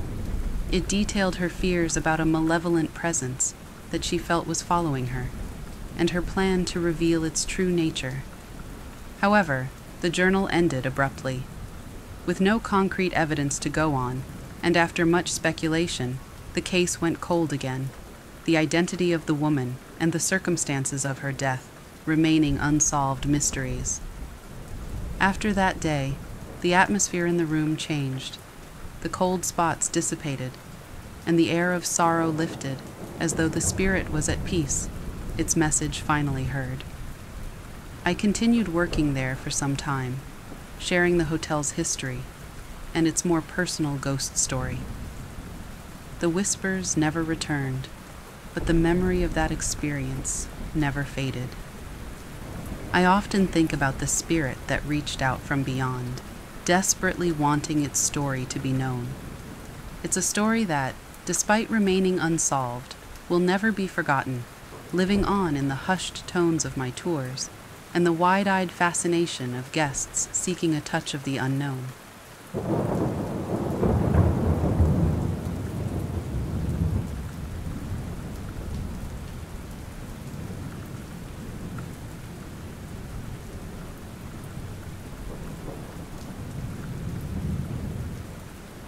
I've always been fascinated by abandoned places. There's something haunting about remnants of lives once lived, crumbling back into nature. Last summer, while scouring satellite maps online, I discovered what looked like an overgrown plantation estate deep in the rural county where I live. The curiosity was too much. I had to explore it. On a humid June day, I drove out following the GPS coordinates until I reached a seldom used dirt road snaking back into the dense forest. After a bumpy mile, I caught sight of a stone pillar framed by oak trees at the end of an overgrown driveway. This had to be the place. I parked and walked up the crumbling drive to find myself before the decaying facade of a once stately plantation home, two stories tall with white columns out front. The windows stared back like gaping eye sockets, frames drooping with rot. I strolled around to the side porch, its roof sagging under the weight of vines and kudzu. The back gardens were an impenetrable sea of weeds and brambles. Clearly, no one had lived here in decades. What stories lingered within these dead walls? I was itching to get inside and find out. Testing the front door, I found it unlocked. Hinges screeched as I eased it open just enough to slip through into the dusty foyer. Flecks of peeling wallpaper and plaster crunched under my footsteps. A musty odor hung in the air. I wandered slowly through the vacant rooms. Peeling floral wallpaper revealed the lathe beneath in places. Old furniture lay strewn about, drawers hanging open, dollies and books scattered across the floor. In what was once a grand parlor, the marble fireplace had collapsed, its elaborate mantel cracked completely in two. Moving upstairs, I paused in a child's room. Shelves still held scattered wooden toys, headless dolls, a faded pink blanket spilling from an iron bed frame. What long ago little girl had once played here, I wondered. What tragedy befell this family, leaving their home stranded in time? A sudden loud thump from below made me jump. Just the old house settling, I told myself. Yet somehow it sounded almost purposeful. A minute later, another heavy thud seemed to come from the walls. Unease trickled down my spine. Maybe I should leave. Heading downstairs, I felt watched from every crevice and dark corner. I quickened my pace through the musty rooms. Turning a corner, I halted in shock. A tall, thin figure stood silhouetted in a doorway up ahead, dusty sunlight streaming behind. Heart racing, I stumbled back around the corner and pressed myself against the wall, willing my panicked breaths to quiet. When I dared to peer around again seconds later, the hallway stood empty. The back of my neck prickled as I looked around wildly. Where could someone have possibly gone so quickly and without a sound? A loud crash came from upstairs, as if a door had been flung violently open. That was enough for me. I bolted outside, not stopping even after I reached my car. Tires spit gravel as I tore down the winding dirt driveway, every glance in the rearview mirror half expecting to see a pallid face watching from the gloom within those dead halls. But as time passed, my unease faded. I told myself it was all in my head, a trick of the light and shadows. But I don't think I believe that. I'll never return to explore the rest of that estate's tragic secrets. What my eyes imagined seeing there, if they did, was enough to haunt my dreams for years to come. Some doors to the past are better left unopened, mysteries unraveled. Whatever spirits still linger behind in that forgotten place. I'll let them keep their solitude undisturbed.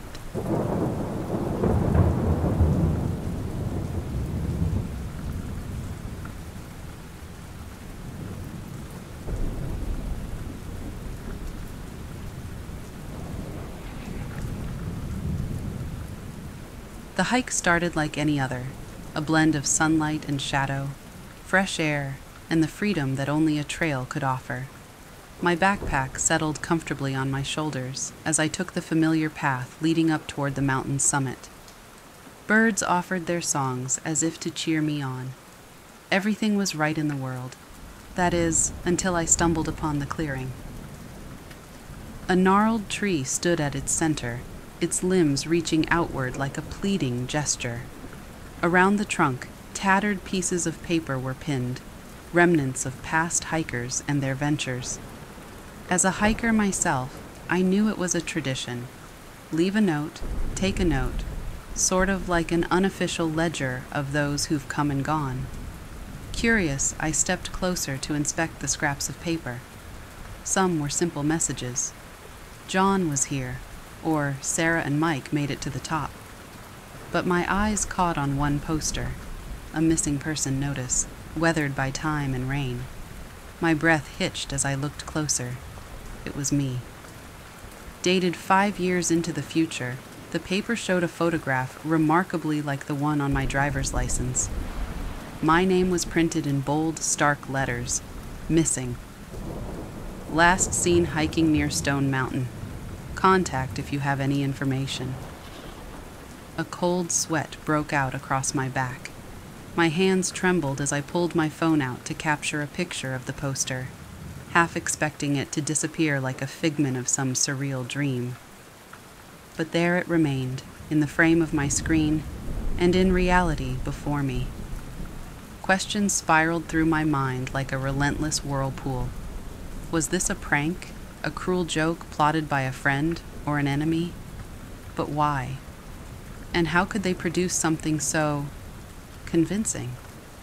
Yet, if it was a joke, why did my gut churn with such intense unease, as though reality itself had twisted askew? I left the clearing as quickly as I could, my pace now a hurried march. The rest of the trail felt longer, the mountain air denser. The forest no longer whispered its comforting lullabies. Instead, it seemed to close in on me like an imposing maze. Every rustle of leaves, every snap of a twig, took on an ominous tone. I pushed on, propelled by a desire to put as much distance as possible between me and that eerie clearing. When I finally emerged from the trail, I felt like I'd been spat out from another world. I threw my gear into the car and sped home, where I examined the photo I'd taken the image on the screen was as unsettling as the paper itself, a ghostly harbinger of a future I didn't understand. Days turned into weeks, and the incident transformed into an unsettling memory, buried but never forgotten. I considered showing the photo to friends, to family, even to the police. But something stopped me each time the unsettling notion that some questions are better left unanswered. Still, the poster changed something fundamental in me. These days, when I hike, I steer clear of that specific trail, opting for paths that offer fewer questions and more peace of mind. Yet sometimes, when the night is still and sleep evades me, I find myself pondering that mysterious poster, a harbinger of an unspoken future. Could it be a twisted rip in the fabric of time, a prank, or a warning? I may never know. And perhaps that uncertainty is the most unsettling part of it all. A mystery that trails behind me like an ever present shadow, lurking just beyond the horizon of my understanding.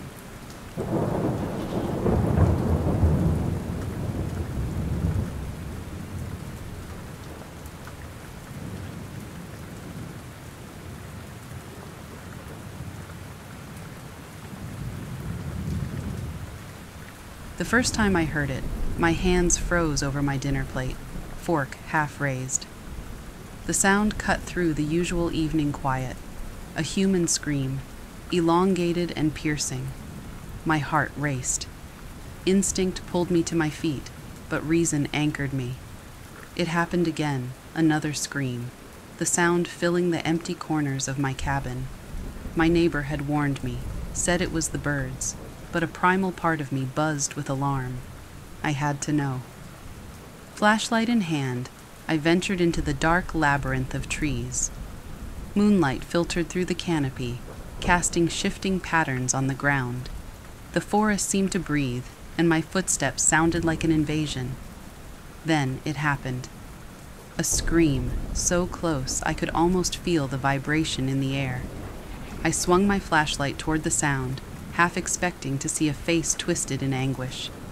Instead, a bird, a black silhouette against the dark sky, swooped from a branch and disappeared into the underbrush. More screams joined in, a cacophony that felt like an eerie choir. Birds? Mimicking human agony? My mind spun, juggling disbelief and the chilling reality. I watched as they fluttered from tree to tree, each scream indistinguishable from a human's. Yet, something was missing. No anguish, no pain, just air funneled through feathers and beak. Eventually, I returned home, but sleep eluded me. Lying in bed, staring at the ceiling, I wrestled with what I had heard, what I had seen. Nature, as it turns out, is neither kind nor malevolent. It simply is. The birds screamed not out of sorrow, but because that's what they did a chilling phenomenon without rhyme or reason. Days turned into weeks, and I found a new routine. I still heard the birds, their nightly screams a haunting lullaby that no longer robbed me of sleep. It became a part of my life, another element in the complex mosaic of the forest. I never found out why the birds scream, and maybe that's the point. In a world teeming with questions, not all answers bring comfort. Sometimes the enigma is more tolerable than the truth. And so I let the birds scream. They fill the night with sound, each cry an enigmatic note in the symphony of the forest. It's unsettling, yes, but it's also a reminder, a stark, unforgiving echo of life's complexities. And I listen.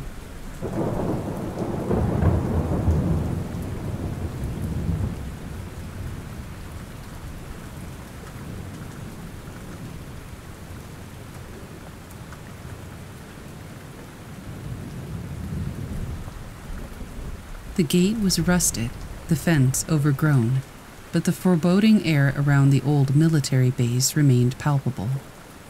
I had heard stories, of course, urban legends of secret experiments and concealed truths, but those tales didn't deter me. Armed with a camera and the boundless optimism of an explorer, I pushed through the rotting barriers. The base lay like a fossilized relic, caught between the past and an uncertain decay. Buildings stood emptied of life, yet filled with the ghosts of classified actions. Most doors were locked or jammed, but one yielded as if inviting me into its secrets. It was an underground bunker, a dark descent into subterranean chambers. I flicked on my flashlight, illuminating corridors lined with locked metal cabinets and old office furniture. Then something caught my eye a file cabinet standing slightly ajar, its lock apparently defeated by time or previous intruders. Curiosity pulled me closer. The first few folders were mundane, predictable stuff budget reports and duty rosters. But then I found it a file marked with a symbol I had never seen, but instantly understood as being not of this world. It was as if the very sight of it instilled the symbol's meaning into my brain. Alliance. My hands shook as I leafed through the documents. What they revealed was a narrative so outrageous, yet so meticulously detailed, that disbelief turned into dread. This was no conspiracy theory. This was an actual alliance between high ranking government officials and an alien civilization identified only by the same strange symbol. The file outlined joint projects, exchanges of technology and information, plans for public disclosure, and contingencies for keeping it all under wraps. Dates spanned decades, and some even projected into the future. Upcoming rendezvous, expected technological handovers, even a long term agenda for the slow integration of the two civilizations. What really seized my attention was the handwritten notes scribbled in the margins, desperate warnings from what seemed like a dissenting officer. We don't know their true objectives, one note read. We are fools playing with fire, declared another. As I flipped through the last pages, I realized the documents became increasingly recent. The most chilling entry was the last a single sentence typed and underlined. Final phase initiation imminent. A shiver crawled up my spine.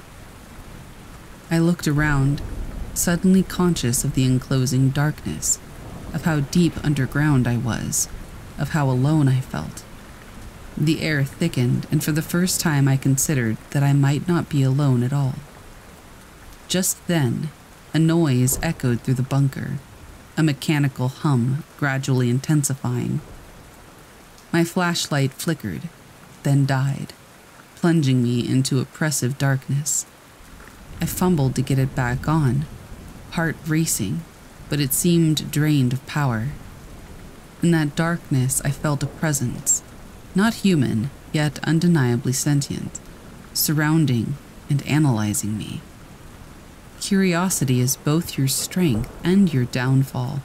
A voice resonated in my mind. I recognized the form of telepathic communication, a cold stream of thoughts invading my consciousness. You have discovered a truth not meant for your kind. Not yet. The weight of those words left me paralyzed. I felt my thoughts being sifted, evaluated, my actions weighed for their potential ripple effects and as quickly as it came, the presence receded, fading into the depths of the hidden chambers around me. I found myself alone in the dark, the mechanical hum slowly receding, replaced by an unsettling silence. By some miracle, or perhaps an alien override, my flashlight flickered back to life.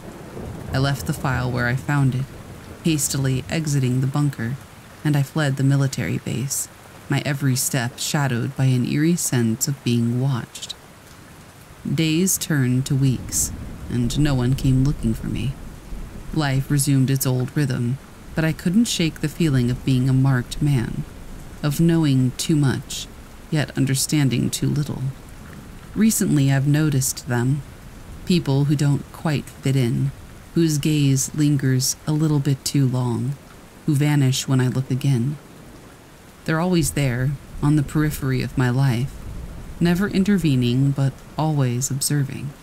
And each night as I try to sleep, the last thought that crosses my mind is that single haunting sentence Final phase initiation imminent. I still don't know what it means or when it will happen, but the unsettling realization lingers I am now a small involuntary part of this looming final phase, whatever it is. And so I wait, wondering when the true cost of my curiosity will reveal itself.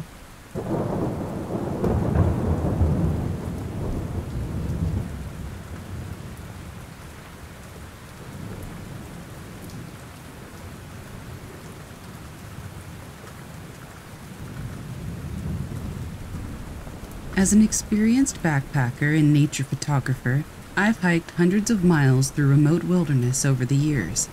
But nothing could prepare me for the terror I experienced last week while camping alone in the boundary waters.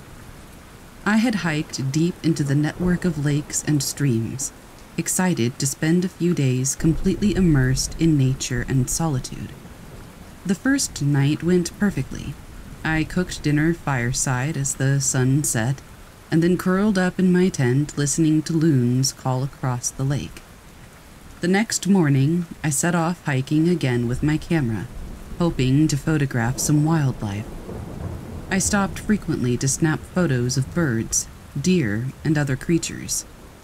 Late in the afternoon, I came across huge, mysterious tracks in the mud along the trail. They looked somewhat human, but enormous, with only four toes. Unease trickled down my spine, but I shook it off and continued. I set up camp that evening on a scenic ridge. While boiling water for my freeze dried dinner, the forest suddenly fell eerily silent.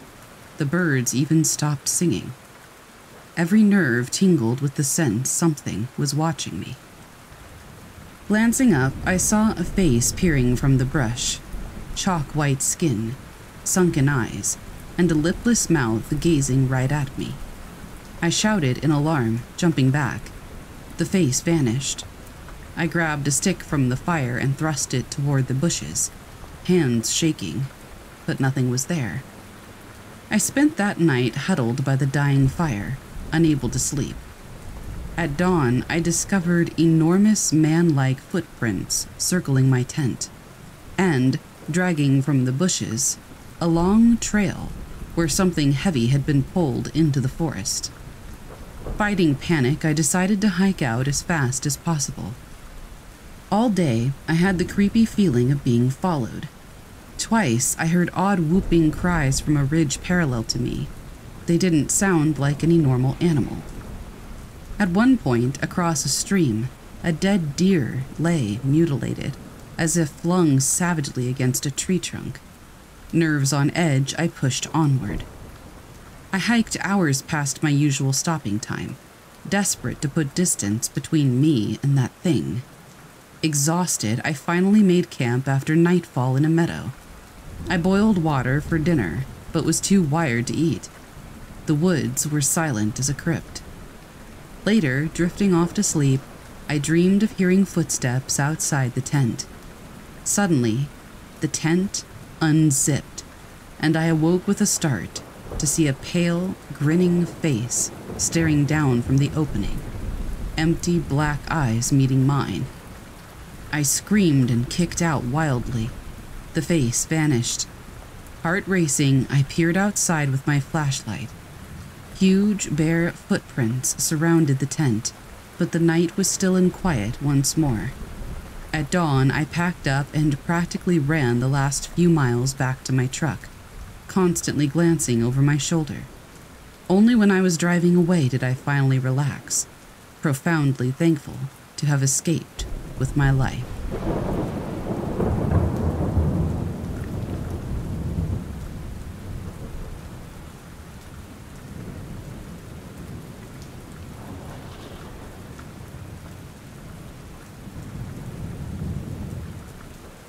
Boston is a city steeped in history, its very streets echoing tales from centuries past. But there's one story that's been passed down through my family that, until recently, I dismissed as mere lore. King's Chapel Burial Ground, established in 1630, it's one of the oldest cemeteries in the city. If you've ever walked its paths, you felt the weight of history bearing down an overwhelming sensation of being watched. One crisp autumn evening, after an exhaustive study session at the nearby library, I decided to take a shortcut through the burial ground. Mist clung to the ground, and the city's ambient glow bathed the gravestones in an ethereal light. As I ventured deeper, an icy gust sent shivers down my spine. The hairs on the back of my neck prickled as I heard a faint whisper a voice saturated with pain and longing. It murmured, Elizabeth. Startled, I spun around, but there was no one. Yet the whisper persisted, becoming more plaintive, seemingly emanating from a grand, weather worn tombstone. As I approached, I could barely make out the inscription Here lies Elizabeth, beloved daughter, taken too soon. Suddenly, a figure materialized before me. Dressed in colonial attire, her pale face was a canvas of anguish. Her translucent hand gestured towards the grave, and in her mournful eyes, I saw an eternity of regret. Feeling a magnetic pull, I found myself entranced by Elizabeth's story.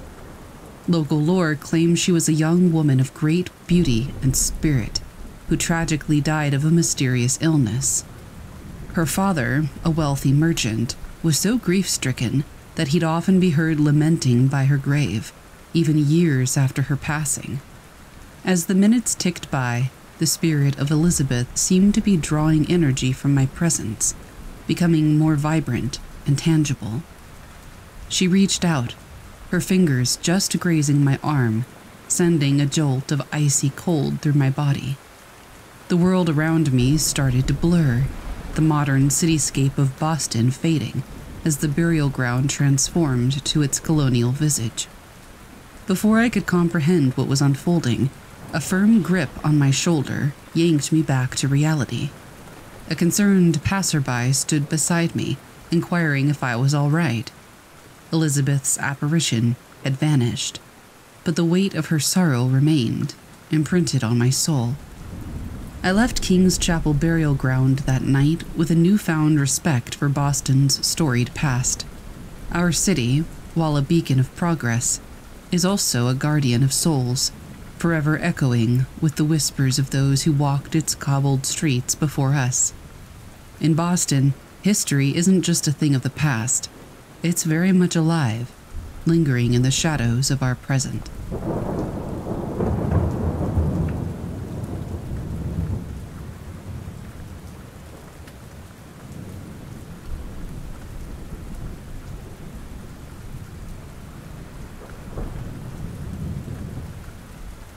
Cancun was a paradise of blue skies and even bluer waters. The ocean was its own world, alive and whispering secrets through the currents. I'd spent the entire year looking forward to this snorkeling trip. My dad used to tell stories about how our ancestors were seafarers, explorers who mapped uncharted waters. I always felt a connection to the ocean that I couldn't explain like a song whose lyrics I had forgotten, but whose melody stayed with me. On the third day, armed with snorkeling gear and a waterproof camera, I took a boat trip to a secluded reef. The guide, Ricardo, assured me it was an extraordinary spot, a place where the sea unveiled its hidden beauty. As soon as I plunged into the water, I was in another realm Schools of vividly colored fish danced around me. Corals stretched out like ancient cities, an underwater metropolis teeming with life. I lost track of time, mesmerized by the vibrant underworld. But as I swam farther from the other snorkelers, the scenery began to change. The water got darker, and the corals appeared older, their colors muted. I was about to turn back when something caught my eye an object half buried in the sand below, its outlines too straight and angular to be a natural formation. Curiosity pulling me deeper, I dove down for a closer look. What I found stopped me cold. A statue, humanoid but not human, its features a surreal blend of aquatic and terrestrial elements. It looked ancient, the material worn away by countless tides. It was the plaque at its base that took my breath away, literally and figuratively. My family's last name was etched onto it Mendoza.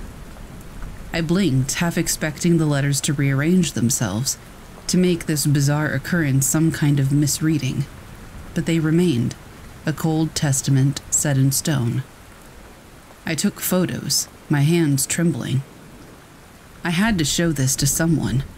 I had to have proof that this wasn't some sort of underwater mirage. I quickly swam back to the boat, my heart pounding in a rhythm it had never known. When I showed Ricardo the pictures, he looked puzzled and then concerned. This isn't something I've seen before, and I've been guiding tours for over a decade. You sure about the location? I nodded, pointing it out on the laminated ocean map he had on board. Ricardo scratched his head. That's not a typical spot for tourists. Too many local legends about sea spirits and forgotten gods. The fishermen avoid it. Ignoring my heightened sense of dread, I pressed him for more information. But he shook his head, reluctant to indulge in what he called superstitious nonsense. For the remainder of the trip, I couldn't get the statue and its plaque out of my mind. Who had put it there? How long had it been in the ocean? What did it mean? When I returned home, I showed the photos to my family. They were fascinated, but equally baffled. My dad, always the history buff, tried to dig into our family archives but came up empty. There were gaps in our lineage, periods where records were either incomplete or missing. Looks like our ancestors were good at keeping secrets, he mused. Weeks later, long after the trip was a collection of photos and memories, strange things began to happen. I found myself increasingly restless, a peculiar type of insomnia that left me tossing and turning, the sound of waves echoing in my ears even in the dead of night. Then I started to dream visions of vast oceanscapes, of ancient rituals, of murmured incantations that seemed to flow from the statue's chiseled lips. Each morning, I would wake exhausted, like I'd been on an endless nocturnal journey. The final straw was the night I woke up to find my bed soaked, as though I'd been submerged in water. The room smelled of salt and seaweed, like a shoreline after high tide. And there on my nightstand sat a small shell, a type I had never seen before, its spirals forming a pattern eerily similar to the designs on the sunken statue's plaque. I booked a return trip to Cancun, this time alone. When I met Ricardo, I could see the unease in his eyes. You sure you want to go back there? I have to, was all I could say. As the boat neared the spot, my heart tightened in my chest. Donning my snorkeling gear, I plunged into the ocean, propelled by a force I couldn't deny. I reached the statue, its presence as unsettling as before. But now it felt like an unfinished chapter, conversation interrupted but not concluded. I took a piece of paper, a waterproof one, and a pencil from my gear. On the paper, I wrote my full name, then pressed it against the plaque, securing it with a small net bag usually used to collect underwater samples. Then I waited. It didn't take too long. The water around me began to churn, the sand swirling like a miniature storm. I felt a pull, not of the current, but something deeper, as if the ocean itself had gripped my soul. My vision blurred, and when it cleared, I was back on the boat, Ricardo staring down at me, his face pale as seafoam. We need to leave, he said, his voice barely above a whisper. As we sped back to shore, I looked at the photograph of the statue one last time, and then deleted it from my camera. Some mysteries, it seemed, demanded their own form of isolation, their secrets too heavy for the surface world. That night, in my hotel room, I found another shell on my pillow, identical to the first one, but this time it came with a note Welcome home. I haven't gone snorkeling since, not because I'm afraid, but because I'm not sure what I'd be returning to a world of coral and fish or a lineage that stretches into the dark corners of the sea. And sometimes, when the night is still and the moon casts its glow on the water's surface, I hear whispers, voices that beckon, that plead, that promise. They call to me from depths I can't fathom, asking me to reclaim a legacy that was submerged long before I was born. And I wonder, with equal parts dread and longing, what would happen if I answered.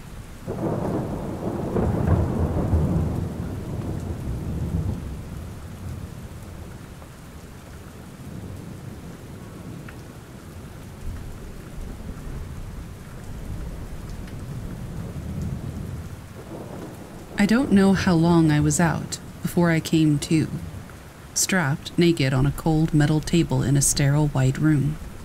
My foggy brain struggled to piece together some explanation from how I went from driving home from work to this. Blurry figures moved in my peripheral vision. I tried to lift my head for a better look, but some invisible force held it locked in place.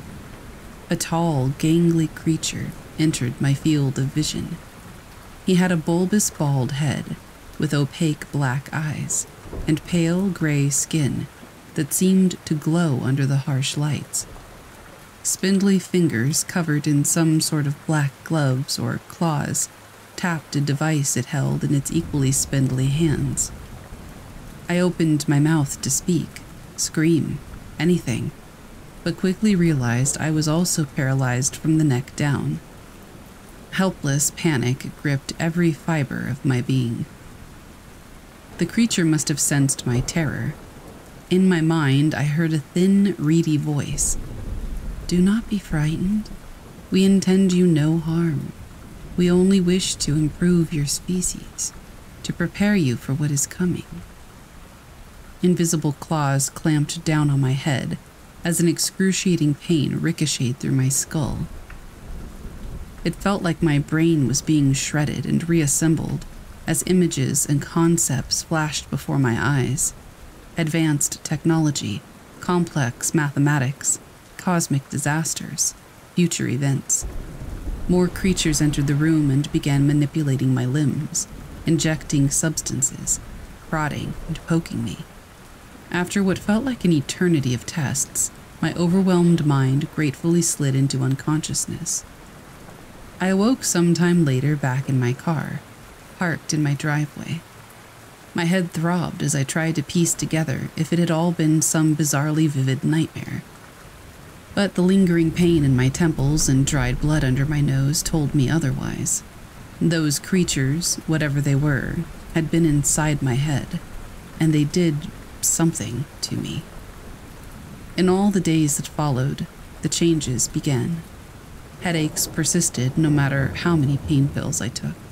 But I also noticed food no longer satisfied my gnawing hunger.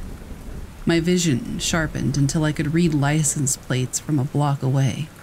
The strange voices in my head grew louder.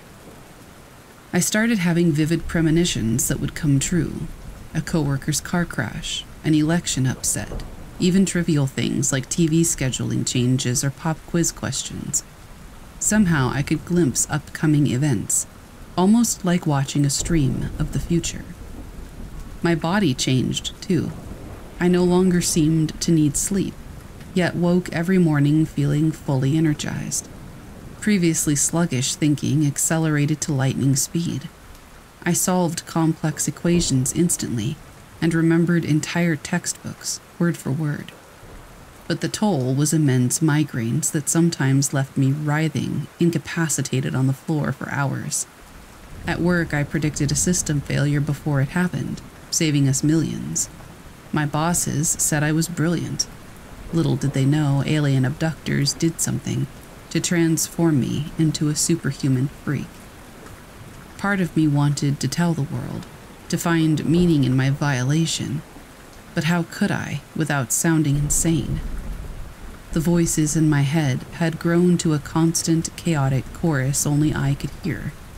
They whispered horrors, crashes, explosions, suffering, and death on global scales. I caught glimpses of creatures and spacecraft hidden behind a thin veil that previously concealed them. The experiments performed on me clearly ruptured the flimsy illusion separating our ordinary reality from levels beyond. I tried drowning the voices out with music, drugs, anything I could think of, but they only intensified. Soon they were screaming, pleading with me to act before the coming cataclysm. I wasn't sure if I was tapping into some real truth or simply going mad. Maybe I already was. The final straw came after a week of ceaseless migraines and zero sleep. In the mirror, my eyes appeared blackened from burst blood vessels. My gums bled spontaneously, and my fingers trembled uncontrollably. How long until whatever alien substance they pumped me with finally killed me? That night, as I rocked and muttered to myself, a booming voice cut through the others, commanding me Go to the cave. Our technology can save you and your planet, but time grows short. Somehow I knew exactly the cave it meant, one I had played in as a child on family camping trips. I tore out of my house and sped recklessly into the hills until I came to that familiar rocky outcropping. A perfect full moon illuminated the small black mouth of the cave's entrance. I stumbled inside, not even questioning my surreal actions, lured by a promise of relief from the unrelenting torment. Deeper, I crawled until the narrow walls opened into a large cavern with a glowing blue light at its center. Mesmerized, I stepped toward it. The angry chorus in my head became a single high pitched drone the closer I came to that glow. I realized my mistake too late. I had walked right into their trap. The force that seized control of my body was even greater than during the first abduction. I was a puppet, compelled by some external power to march stiffly toward that pulsing light, compelled to become something far from human. Just as my hand reached for the hypnotic light, instinct took over. I wrenched back control of my body and let out a primal scream of rage at the creatures who thought they could dictate my fate. With the last of my energy, I ripped a sharp stone from the cavern wall and plunged it into my chest, collapsing as hot blood gushed. I lay gasping on the cold cave floor, life ebbing away, but at least I would die as myself and not their specimen. As my vision faded, I heard their frustrated screams fade to silence. I can only pray my small act of defiance delayed their apocalypse just a while longer, so someone else might find a way to avoid the grim future preordained for our race. A future I glimpsed in my final moments, our planet harvested, and humanity mutated into some cold new form. But perhaps we still have time to forge another path. Perhaps.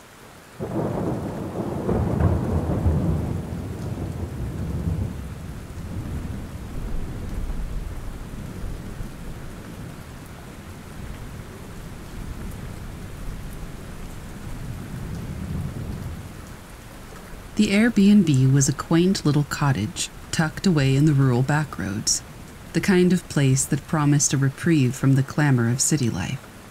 The reviews were stellar, the pictures inviting. When Emma and I arrived, it was even more charming in person a cozy living room, antique furniture, and an atmosphere thick with rustic allure. We were about to congratulate ourselves on finding this hidden gem when Emma made an observation.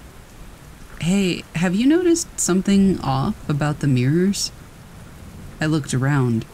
She was right. Each mirror in the cottage was either covered with cloth or turned to face the wall.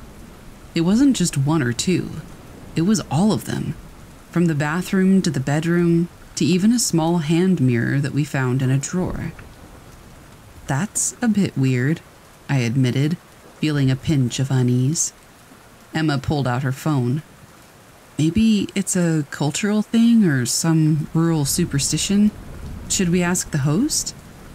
Before she could dial, I suggested, eh, let's not make a big deal out of it.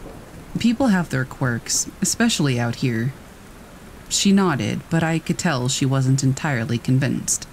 Nevertheless, we pushed the mirror issue to the back of our minds and focused on enjoying the evening. We made dinner, watched a movie on my laptop, and eventually retreated to the bedroom. The cottage had no Wi Fi and spotty cell reception, isolating us from the world outside. It should have been freeing, but as the night deepened, the absence of mirrors started to take on a weight, invisible yet increasingly palpable. We crawled into bed and I turned off the lights. In the dark, the mirror issue resurfaced in my mind, now a gnawing concern. The room was pitch black, save for the sliver of moonlight that sneaked through the curtains, casting elongated shadows on the walls. Then I heard it a faint, almost indiscernible scratching sound, like fingernails against wood, coming from the direction of the covered mirror. I shot a glance at Emma, her eyes wide open, staring at the ceiling. You heard that too? She whispered.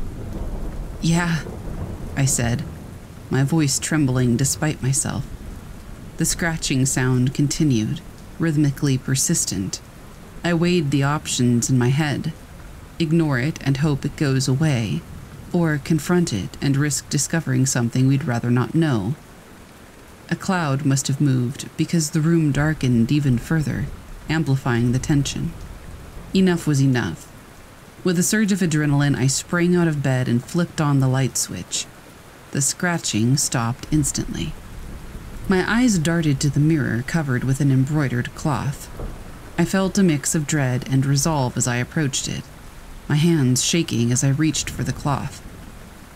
Wait, Emma said, her voice tinged with apprehension. I paused, locking eyes with her. In that moment, we both understood the risks of unveiling the unknown. I let my hand drop, stepping back. We should leave it alone, she said, a mixture of relief and lingering curiosity in her eyes. Agreed, I replied, unable to mask my own relief. We spent the rest of the night in a tense, sleepless vigil, the covered mirror a silent sentinel in the room. Morning couldn't come soon enough.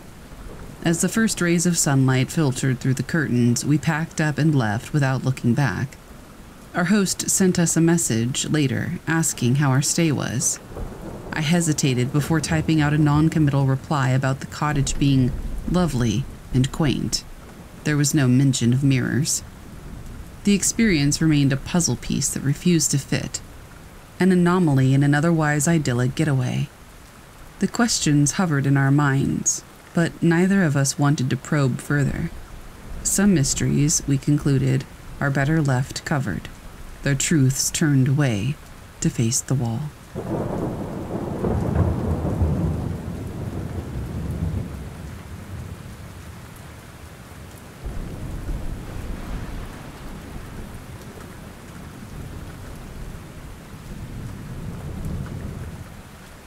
I'll never forget that brisk fall day I went hiking in the state forest near my hometown.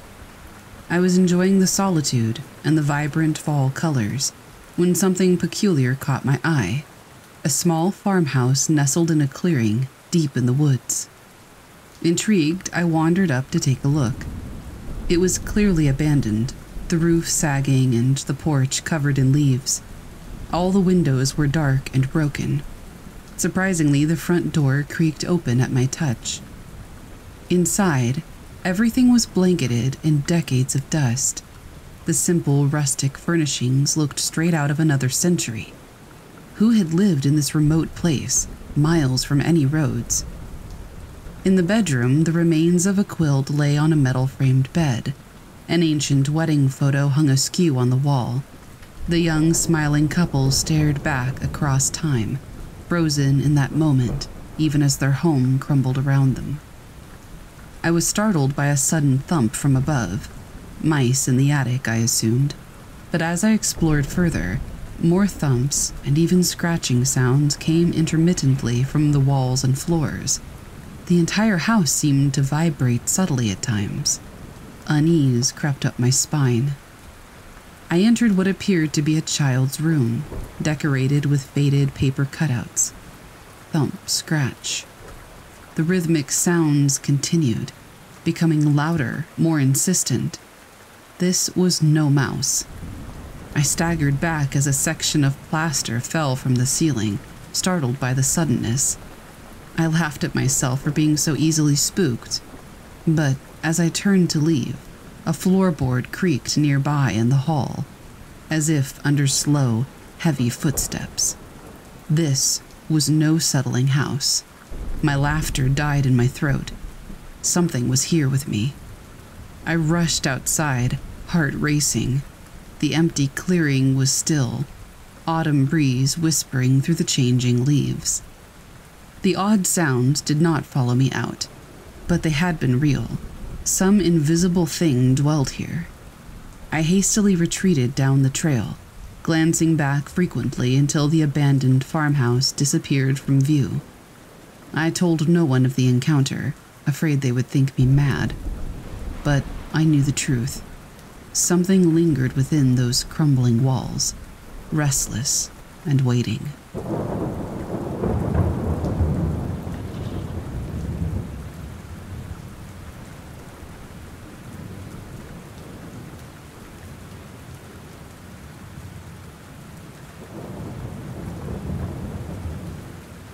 A glance out the window, a double take, and then dread settled like a cold stone in my stomach.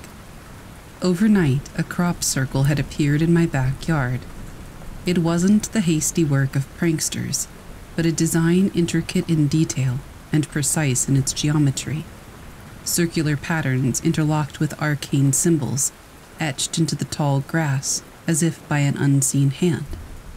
How? Why? Questions tumbled through my mind as I stood there, coffee mug forgotten on the kitchen counter.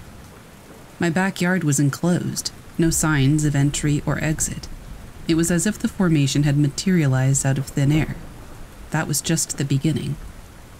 Small oddities followed electronic glitches, lights flickering on and off, inexplicable shadows skimming past windows.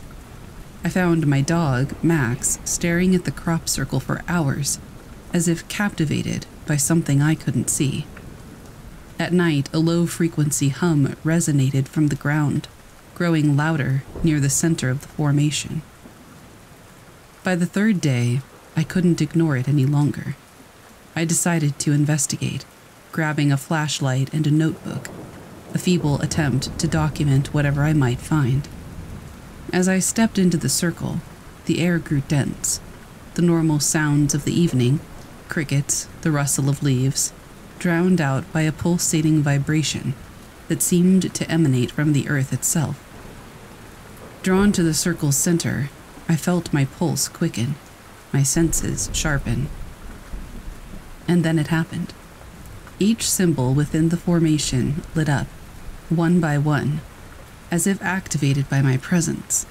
The lines glowed a ghostly blue, a luminous web stretching out in all directions. A chill crawled up my spine. I was no longer alone.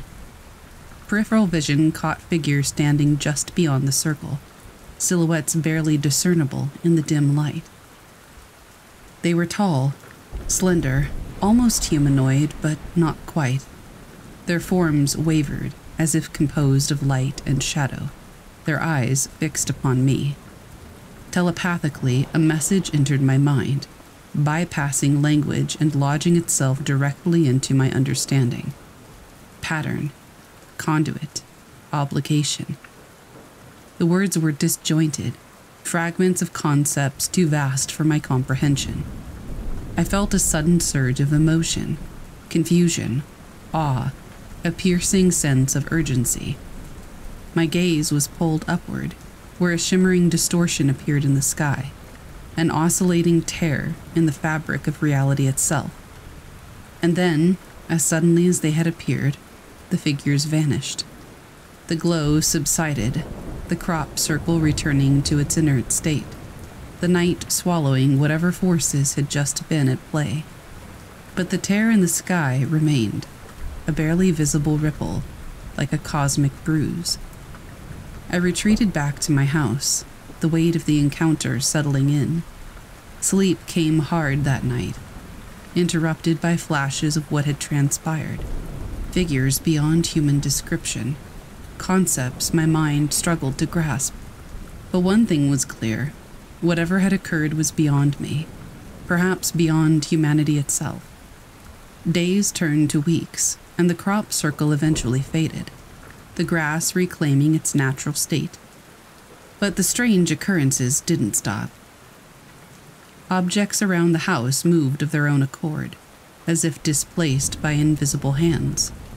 Sometimes, in the dead of night, I'd hear whispers, indistinct murmurs that echoed in my ears long after they had ceased. The tear in the sky became a permanent fixture, occasionally visible when conditions were just right. I found myself drawn to it, a magnet pulling at some innate sense of destiny or doom.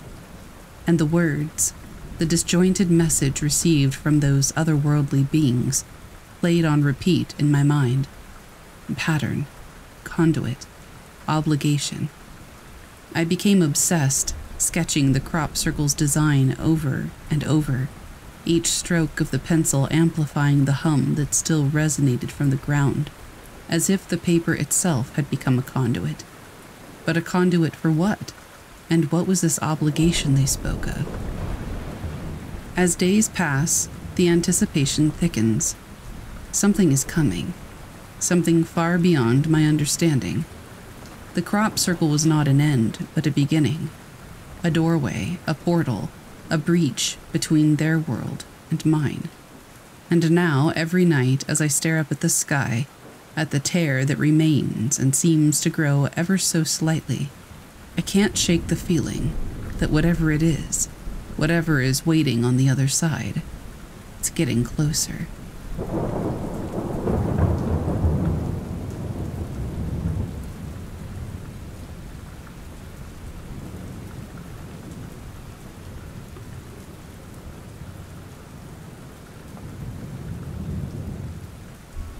Over the past month, an incident has unfolded that has left me questioning my sanity. I'm currently attending college in British Columbia, Canada, where I'm enrolled in a business course. My professor isn't a trained educator. Instead, he's a middle aged professional from the field we're studying. The college invited him to teach a night course. While he's genuinely friendly, his lack of teaching experience shows. In the first week of February, he mentioned an assignment due on March 2nd. The task was to write a three page paper on a topic covered in our class, though he didn't give more details than that. The next session, many of us requested him to upload the assignment's specifics and structure on our course site. Seemingly surprised by the idea, he agreed, saying he would do it that night. As promised, he later posted details about the assignment's due date, expectations, and formatting. I began working on the assignment ahead of time, but as life goes, I got swamped with other responsibilities and forgot about it for a while. As the next class approached, panic set in, and I searched for the paper I had started on my computer. To my dismay, it was missing. I thought maybe I had forgotten to save it, though that seemed unlikely. When I reached the classroom, I asked the professor whether he wanted the assignment submitted online or in physical form the coming Monday. His response took me by surprise. He had no recollection of assigning any such work. Even when I prompted him to check the course site where he had posted the assignment details, he found nothing. I questioned a few classmates, but none of them remembered the assignment either. I checked the grade structure, expecting to see the 5% allocated for this task, but it was gone, replaced by a 10% participation mark. It's puzzling because I'm only taking two classes while working full time, so I couldn't have confused this assignment with another course. They're totally different courses. Did I somehow step into an alternate universe in the past month? Everything else in my life seems consistent but this particular event has genuinely unnerved me.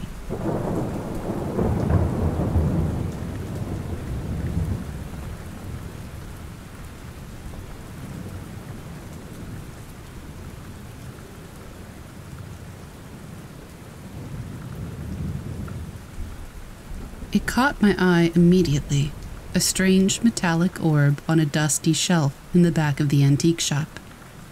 About the size of a softball, it was etched with odd, intricate symbols and emitted a faint blue glow when I picked it up. The shopkeeper just smiled cryptically when I asked what it was. A little something from out of this world, he said with a wink. Against my better judgment, I bought it, too mesmerized to leave it behind. Back home, I examined the orb closely, turning it over in my hands. The surface almost seemed to ripple and move. I traced my fingers over the etched symbols, jerking back when they flashed brightly at my touch. The orb began humming, the glow within shifting to a brilliant azure. My arm hairs stood on end as electrical charge filled the room. Reality seemed to shimmer and warp around me. There was a flash of light and a feeling of motion, though I stood perfectly still. Just as suddenly, everything returned to normal, or so I thought.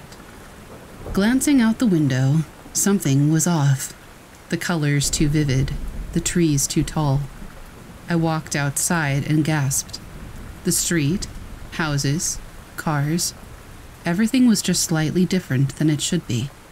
Even the air seemed charged with unfamiliar energy. What had happened?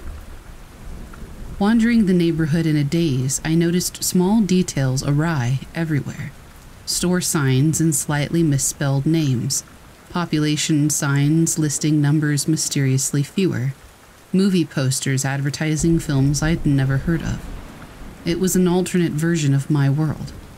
In a park, I froze in disbelief at what I saw. Some large, deer like creatures, but with shaggy violet fur and four curled horns. This was no alternate timeline. This was an alternate Earth. The orb had teleported me to a parallel reality, one where humanity seemingly never evolved to dominate the planet. I walked the strangely familiar yet foreign street in awe. Occasional aircraft passed overhead, but small and rounded, like automated probes. No trace of civilization beyond nature itself flourished in this version of Earth. What had gone differently here? What event in their history stopped intelligent life from emerging? Over the weeks, I scoured carefully for any fellow interdimensional refugees, but I was utterly alone, an anomalous phantom visiting this alien Earth. Reverse engineering the orb to return me seemed hopeless. Yet I clung to faith that its magic would work again, if somehow reactivated. My only hope was locating the parallel version of the antique shop, praying the orb still waited there for me. I hitchhiked west for months, evading prowling alien beasts, subsisting on unfamiliar vegetation. The deserts and mountains slowly transformed into places I recognized. One foggy evening, there it was, the little shop on the corner, exactly where it stood back home, yet so alien here. The windows glared darkly. I smashed a pane and crawled inside. Passing a menacing taxidermied creature, I made my way upstairs to where the orb had been. And there, atop a shelf, illuminated by a single moonbeam, sat that same mysterious sphere. Hardly daring to breathe, I picked it up. Immediately, it began thrumming and flashing, just like before. This was my ticket back. As the shop warped and blurred around me, I hoped I had left only ripples in this unspoiled alternate realm. Perhaps the universe deemed it wisest for Earth to develop unmolested by humanity's influence. But I knew I could never see my own world the same, having glimpsed this strange reflection of what might have been.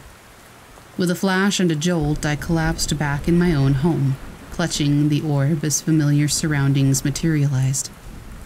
Part of me wondered if I should try to return and learn more about that other Earth. But this artifact held perils too dangerous to meddle with whimsically. Locked away, I hope its secrets are never breached again in my lifetime. There are some doors that should remain firmly closed, no matter how tempting the unknown realms they reveal. This glimpse left me forever changed, but wisdom lies in accepting the world as we found it, while embracing the hidden possibilities.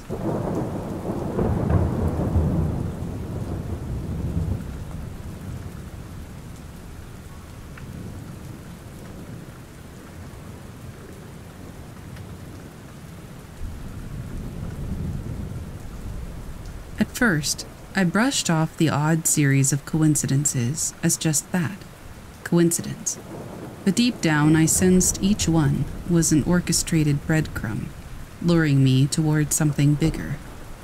It all started with the lottery ticket. I never play the lottery, but on some whim, I bought a scratcher at the gas station one night. Amazingly, I won $500. Not a fortune, but probably the most I'd ever won gambling. I decided to splurge on a fancy steak dinner. When I arrived at the restaurant that night, they had no record of my reservation. Annoyed, I turned to leave just as another couple was exiting. They kindly offered me their table, saying that they had suddenly fallen ill. I thanked my lucky stars. Halfway through my meal, nature called. In the bathroom, the motion sensor sink turned on as I walked by. Oddly, the faucet sputtered and a tiny object shot out of the drain right at my feet a gold ring with a cryptic symbol etched in black. Even odder, it somehow fit my ring finger perfectly.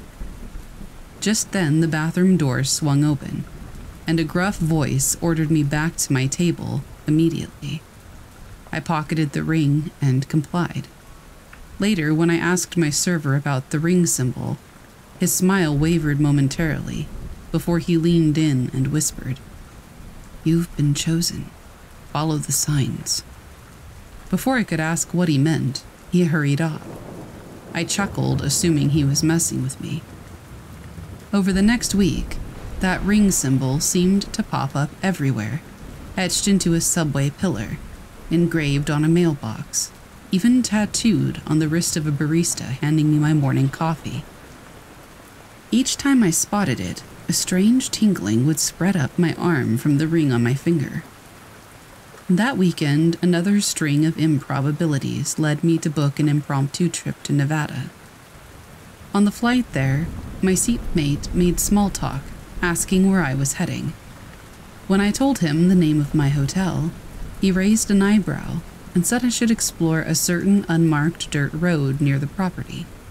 Just look for three cacti clustered together, he said. I did find that strange road out in the desert behind the hotel. After miles of empty wilderness, I came across what looked like an abandoned shed. Suddenly, my vision blurred, the same strange tingling shooting down my arm from the ring. Without thinking, I approached the shed, and the door swung open on its own. A narrow staircase spiraled down into inky darkness. Every nerve told me to flee, yet I found myself descending step by step into the void. The temperature dropped sharply. Strange mechanical hums and echoing voices drifted up. At the bottom, the stairs opened into a massive domed chamber. Catwalks crisscrossed the space high above my head. Figures in white lab coats scurried about, attending to large cylindrical chambers covered in warning symbols and containing something alive creatures I couldn't fully glimpse, but that seemed only half formed, not of this earth. I should have turned and run. Instead, I crept forward along the perimeter of the vast chamber. That's when I saw it in the center a mammoth disc like craft resting silently on a raised platform. Access panels on its smooth metal hull were open, exposing a maze of alien circuitry and pulsating with light. Human scientists hovered around it, studying and making notes. One inserted a long robotic arm into the craft's inner workings. My blood turned to ice. This was no abandoned shed. It was a secret government site for reverse engineering extraterrestrial technology. All those seeming coincidences had drawn me here. But why? Just then, alarms screeched to life pulsing red lights flooding the facility. A panicked voice over the intercom shouted, Protocol Omega initiated. The scientists scattered as security teams stormed through the side doors, spotting me as the intruder. I turned and ran wildly back the way I came. I raced blindly through deserted hallways, footsteps echoing close behind.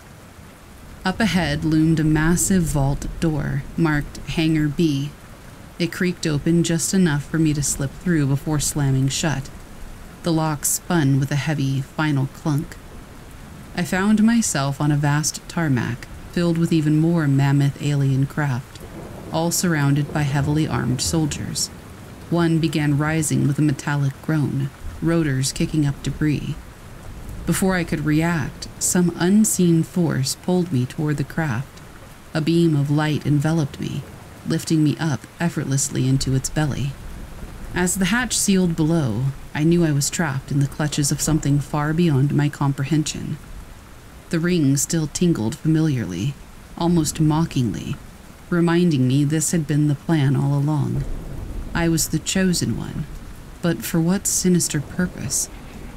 The craft accelerated skyward, the G forces pressing me to the cold metal floor. Slowly, the planet's curve became visible out the thick glass windows. I shut my eyes, sending a silent prayer for anyone left behind on that fragile blue marble, drifting farther and farther into the distance below me. Wherever I was going, I knew Earth and humanity were now lifetimes behind me.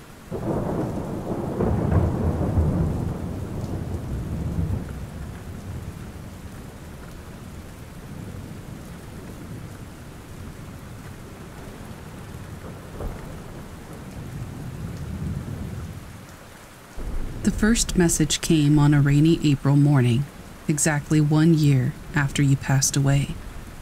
I had just set a bouquet of your favorite daffodils by your headstone, tears flowing freely down my cheeks at the loss of you, my mentor, my guiding light. A cool breeze stirred the cemetery trees as I turned to leave. That's when your voice whispered on the wind, faint but unmistakable. Do not weep for me, my child. I am not gone, merely transformed.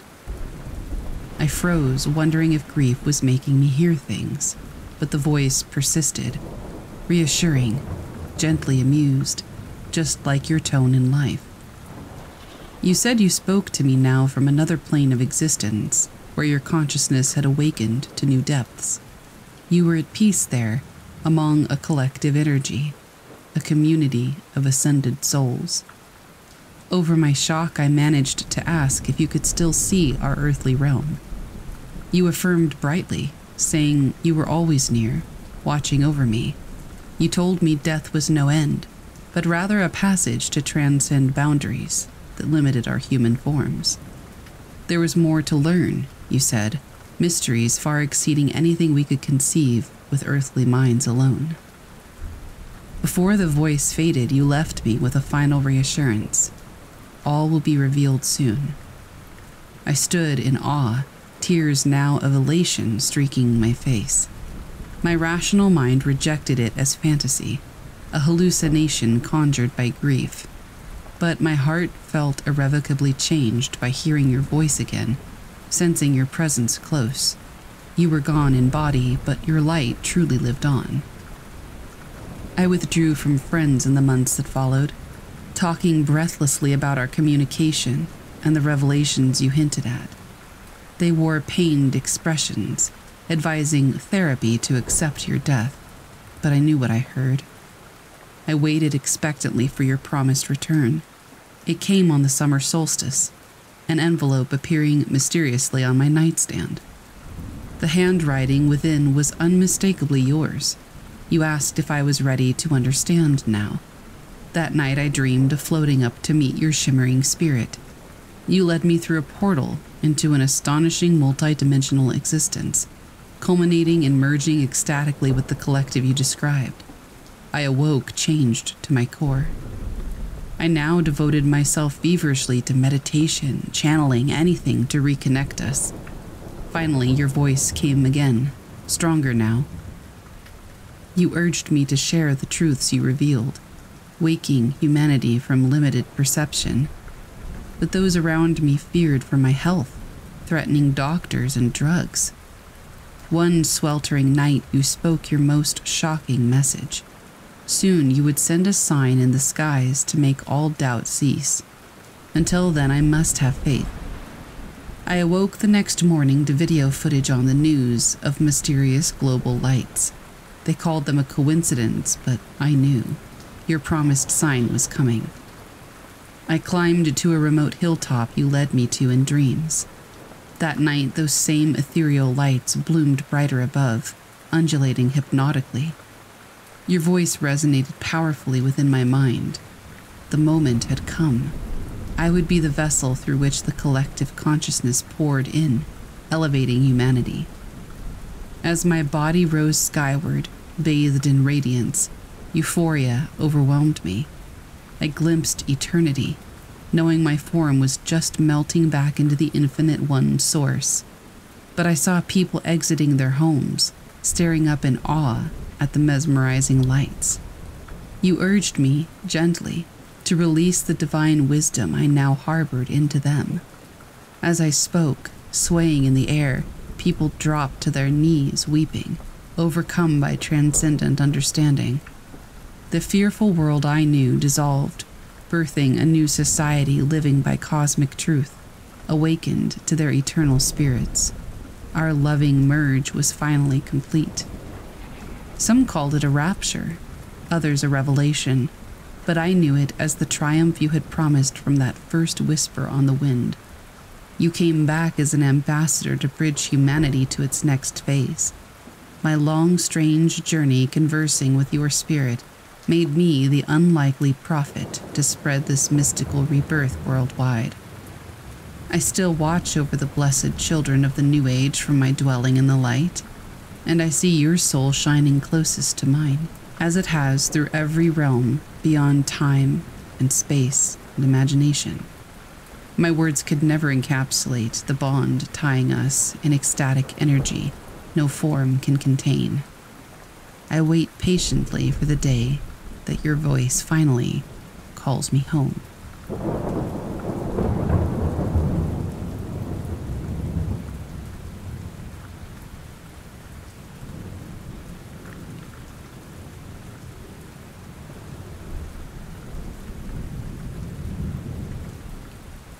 The Transnational Express had always been a dream of mine.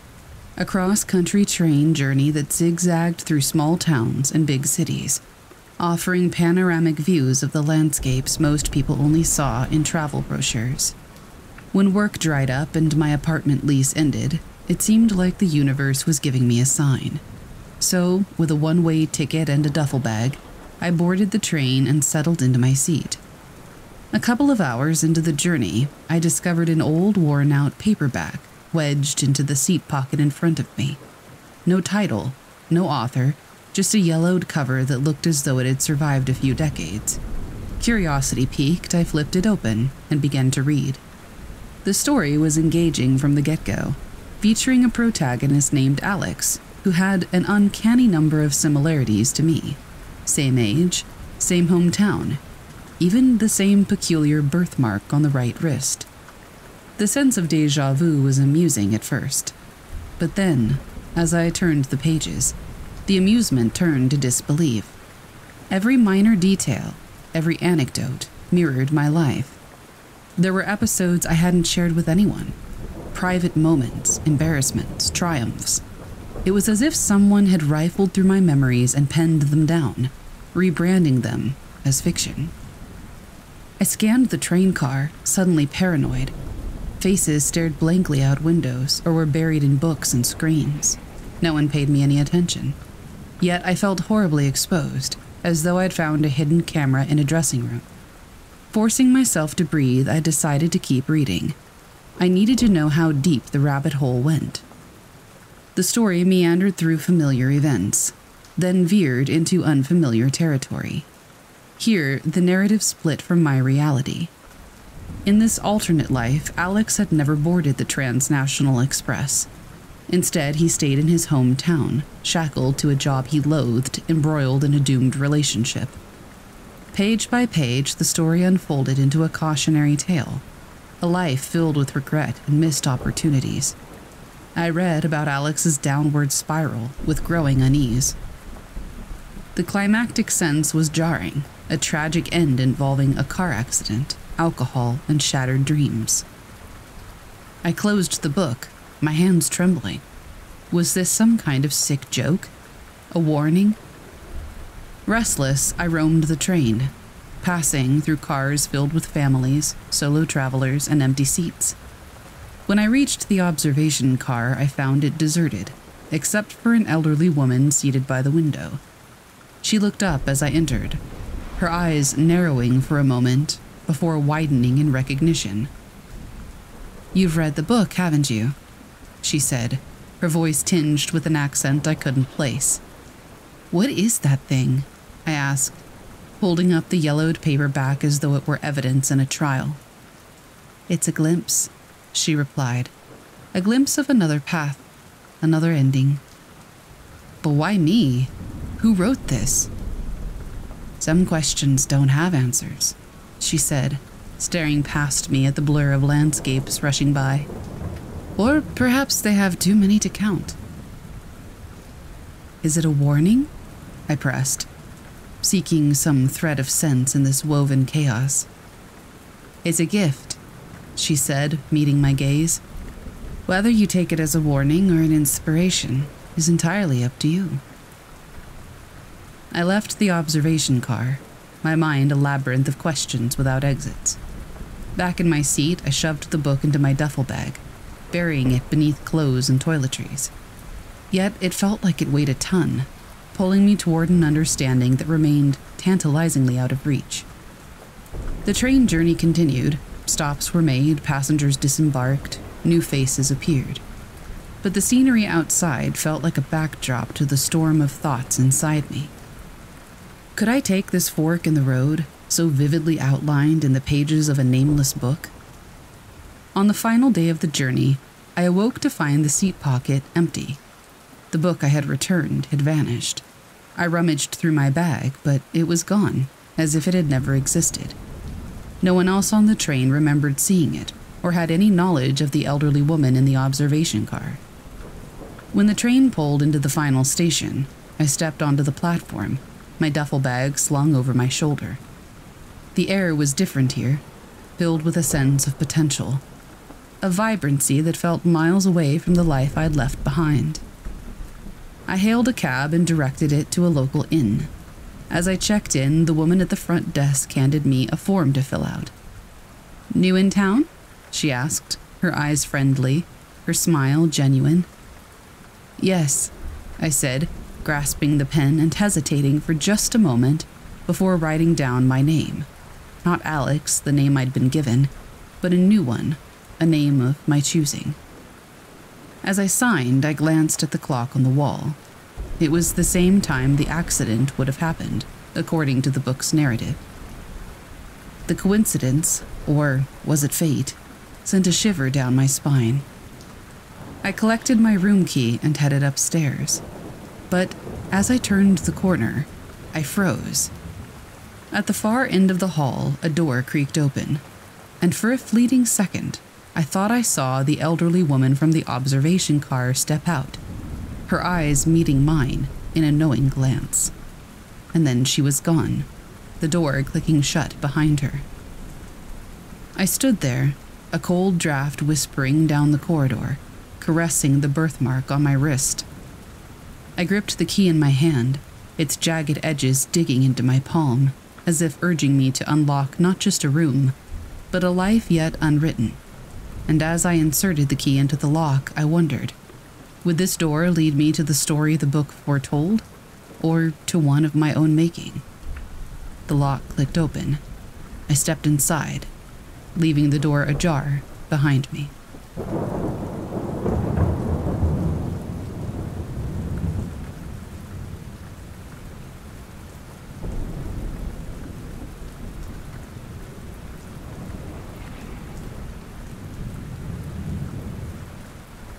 I'll never forget that sunny afternoon I went hiking in the slot canyons near my hometown. As an amateur geologist, I loved exploring the mazes of red rock formations that wind through the desert landscape. On that day, I stumbled upon a small cave I had never noticed before, halfway up a secluded sandstone cliff. Against my better judgment, I decided to investigate. I switched on my headlamp and crept into the narrow opening. The cave was larger than it appeared from the outside, consisting of a network of small chambers. I ducked through the low tunnels, tracing my hand along the smooth walls that looked almost melt formed. In the farthest chamber, an arched doorway led into pitch blackness. I paused, then stepped through into the void. my headlamp piercing the darkness. The room was perfectly round, the walls ringing with echoes. It was clearly not a natural formation. I played my light upward, illuminating a domed ceiling. That's when I saw them hundreds of humanoid figures carved intricately into the sandstone, covering every inch of the ceiling. I stumbled back in shock. Each figure was different, some with large almond shaped eyes, none looked quite human. I stood frozen, staring upward, my mind unable to process what I was seeing. These bizarre etchings would change human history if revealed. A scraping sound in the tunnel behind me made me whirl around. For a split second in the flashlight glow, I saw a small, hairy creature crouched on all fours. Its eyes reflected the light back like an animal's. Then it scurried away down the tunnel before I could get a better look. I raced after it through the chambers, clambering back up to the cave entrance. By the time I emerged onto the cliff, it had vanished. The surrounding canyons were empty and still. I couldn't shake the image of those eyes watching me from the shadows. I had discovered something incredible and something sinister. I couldn't tell you how I knew, but in my gut I felt it. This cave was not meant to be found. I returned home, knowing I had to keep its existence secret, at least for now. I could barely sleep that night troubled by the encounter. What had I seen, and what were the carvings of? The next morning, I hiked back, determined to get photos of the chamber that would turn science on its head. But I couldn't find the cave entrance, no matter how hard I searched the canyon walls. It had simply vanished. Over the years, I returned to the area many times, obsessively seeking the hidden cave but the sandstone face remained a sheer, unbroken surface. It was as if the cave had never existed at all, the bizarre etchings nothing more than a fantasy. Deep down, I know the truth of what I discovered that day, and more chillingly, that something ancient and unearthly dwells within those lost caverns, protecting its secrets. I've never spoken publicly of the encounter until now but the time has come to share my story, if only to warn others that some places are not meant to be found. They must remain undiscovered for the good of humanity.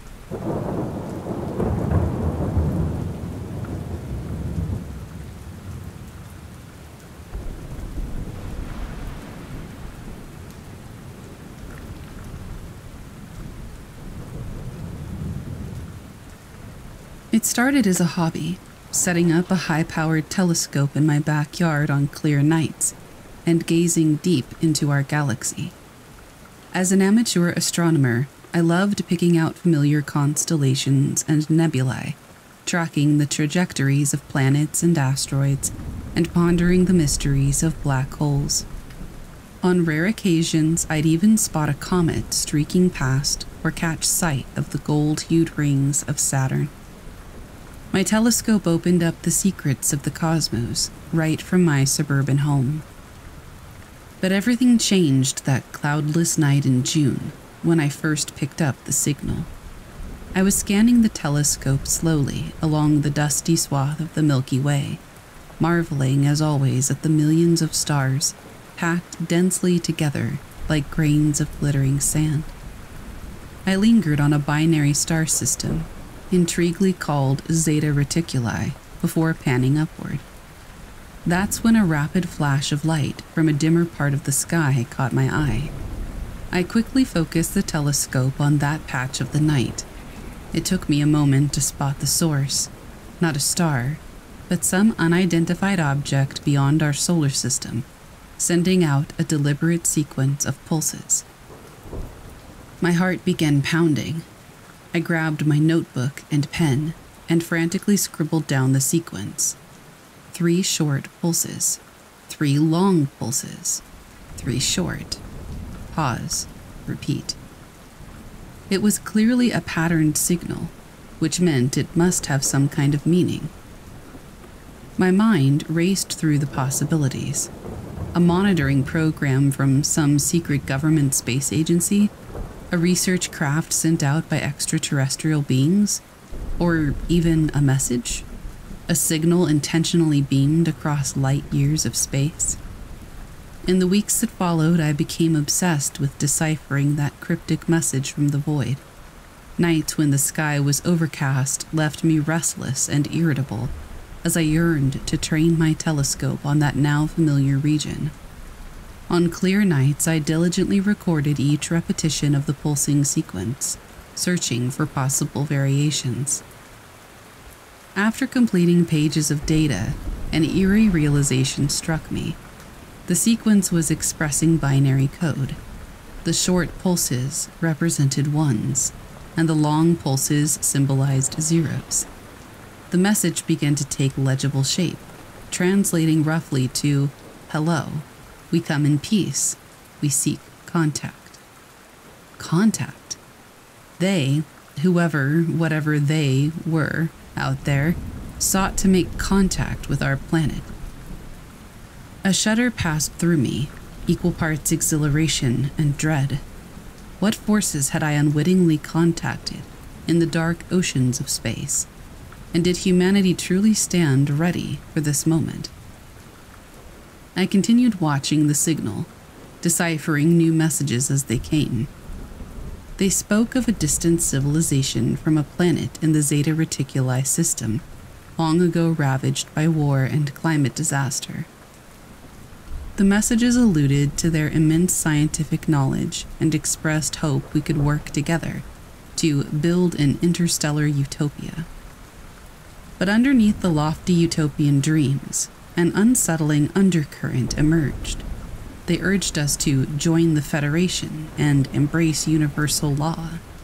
Ominous references to colonization appeared, along with hints that resistant civilizations could be pacified I became convinced there was a veiled threat beneath their promise of peace. This growing unease festered in my mind, magnified by lack of sleep and constant anxiety. I stopped leaving the house, rarely ate or bathed, entirely consumed by the messages streaming nightly from light years away. I was unable to share my discovery with anyone else.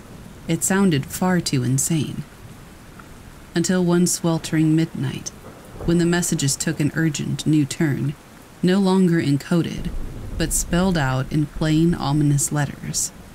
We come, prepare, and submit. Adrenaline spiked through my system. They were coming, for us, soon. I shut down the telescope and gathered all my notebooks filled with inscrutable figures and frantic scribbled translations. In a manic whirlwind, I destroyed my hard drives, sabotaged my equipment, and burned all the papers out behind my shed. I hoped desperately it would be enough to sever the connection, shut out their intrusion into our small world, delay their sinister arrival for a few fleeting days. But I can feel their presence now, ominous and heavy, seeping into the very atmosphere of our vulnerable planet. Sometimes I still catch the coded signals winking slyly at me from familiar constellations, taunting me that I was too weak to shield us from what's to come. In my most hopeless moments, staring up at the indifferent sky, I wonder if humanity will look upon this year as our last before oblivion arrived, silently, from the stars.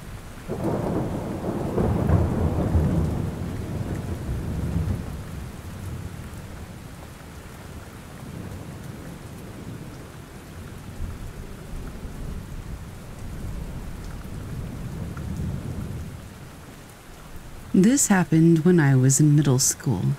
I'm about to graduate high school. I still remember every detail to this day.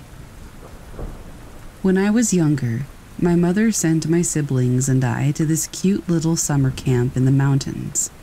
It was one week in the middle of nowhere. No cell service, no quick way to reach anybody, and we were miles and miles from the nearest town. This event happened in my third year of attendance. The way these campsites were set up goes as follows You were split up by gender and age group.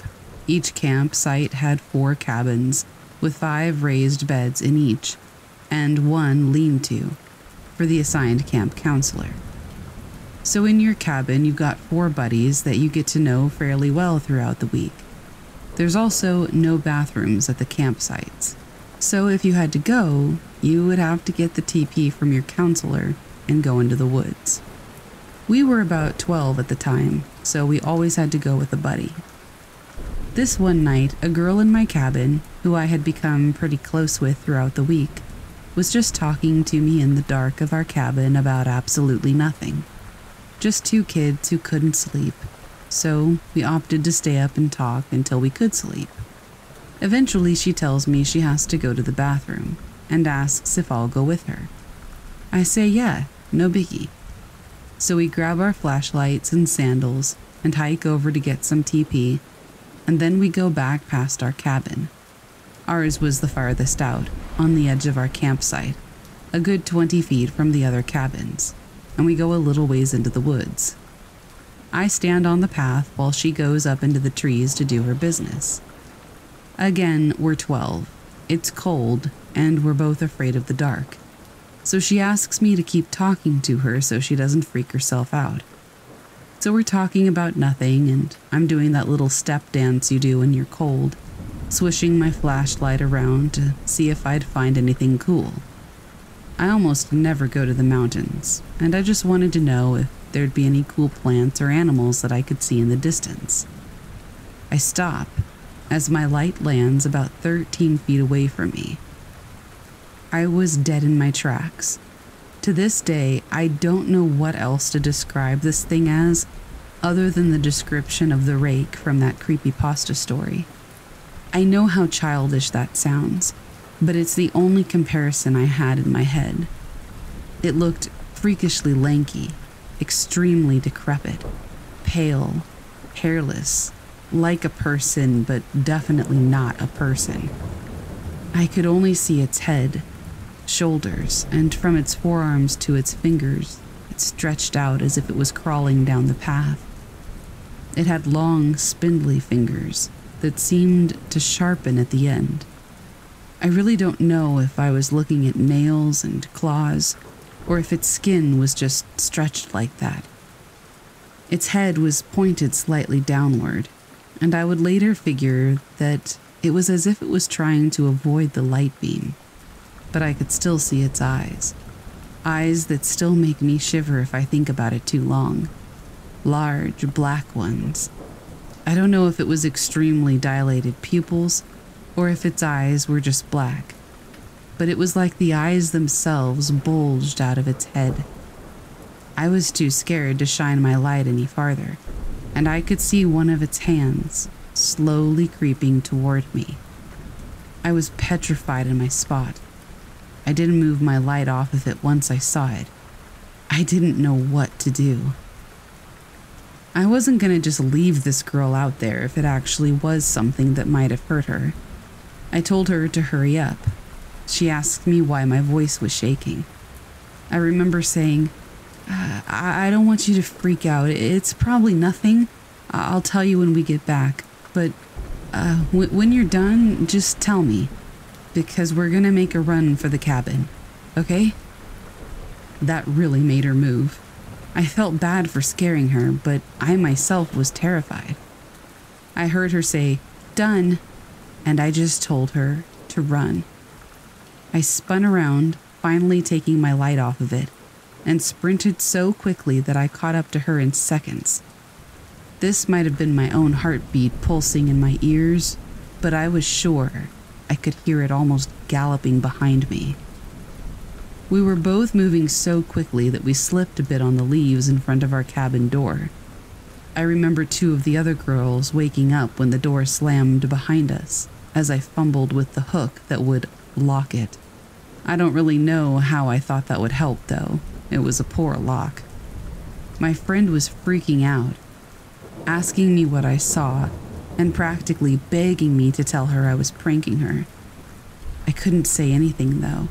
as I had begun to have one of the worst panic attacks in my life. My breathing became audibly labored, and someone had to get up to get our camp counselor, which is what got me talking again. She got about halfway to the door before I said, No. And that was what made everyone more freaked out. Eventually, our counselor heard us and came to the cabin.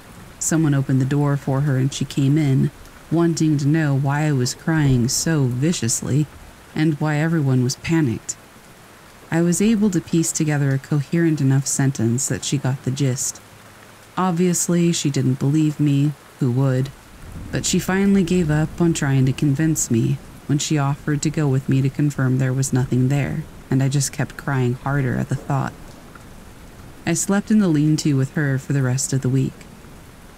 I'll be the first to admit that I can't honestly know what I saw.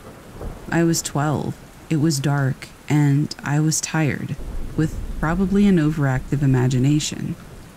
But I know that staring off into the dark has never struck such terror into me like that before. I know that figure that I saw. I just don't know what to call it. I still don't really know what to make of it, but I think about it every summer.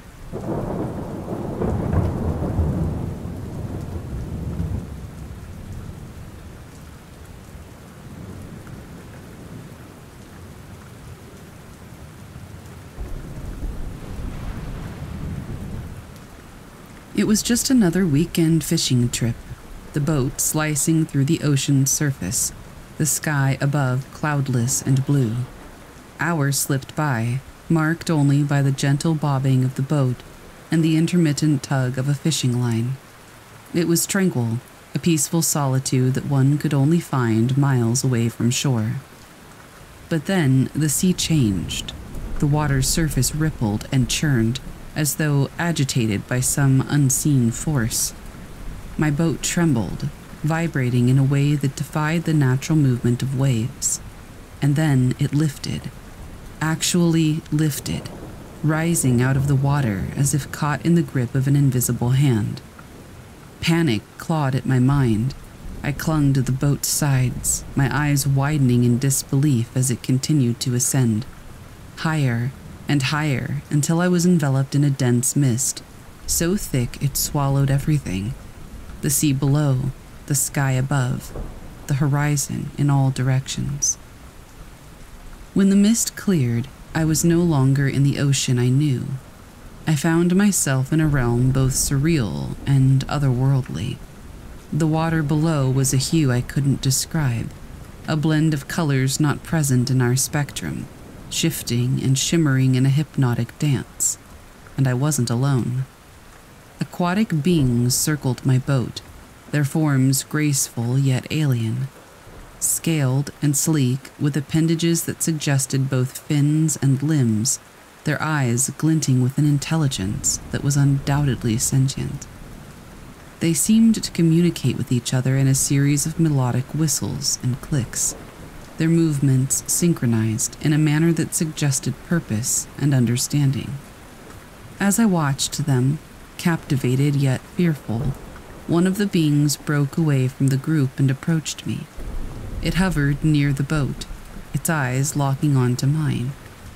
And then, with a startling clarity, a voice entered my mind a telepathic message, formed of words yet beyond language.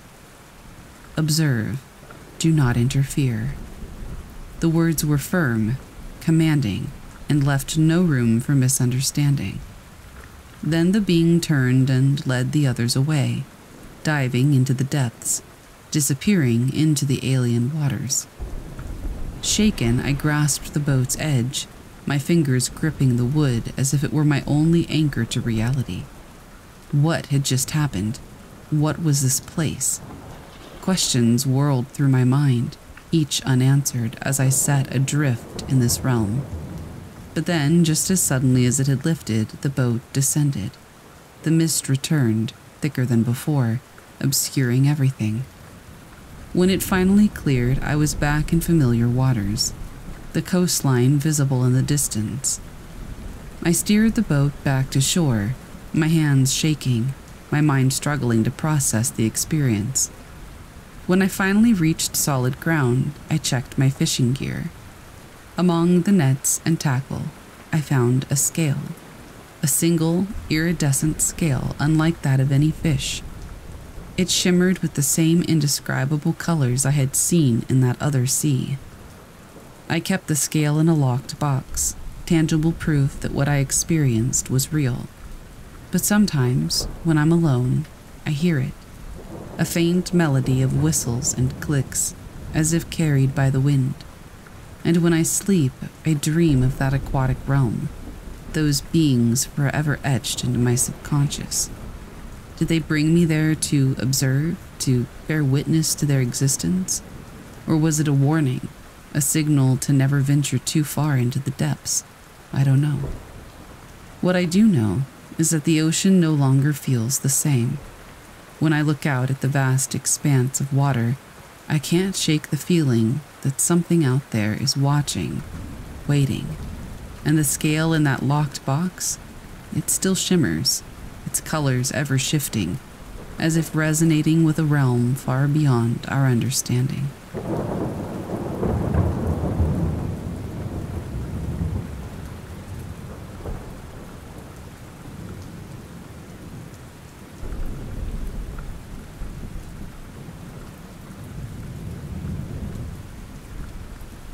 The lights went out at exactly 8:17 p.m. One moment my living room was bathed in the glow of the evening news. The next, pitch black as the TV blinked off. Oh, great, I muttered, fumbling for my phone to use its flashlight. Power outages were common enough in the rural town of Haven, especially on muggy summer nights like this, when everyone's AC was cranked up high.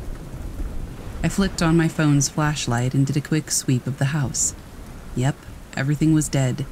Lights, appliances, the ambient whir of electronics.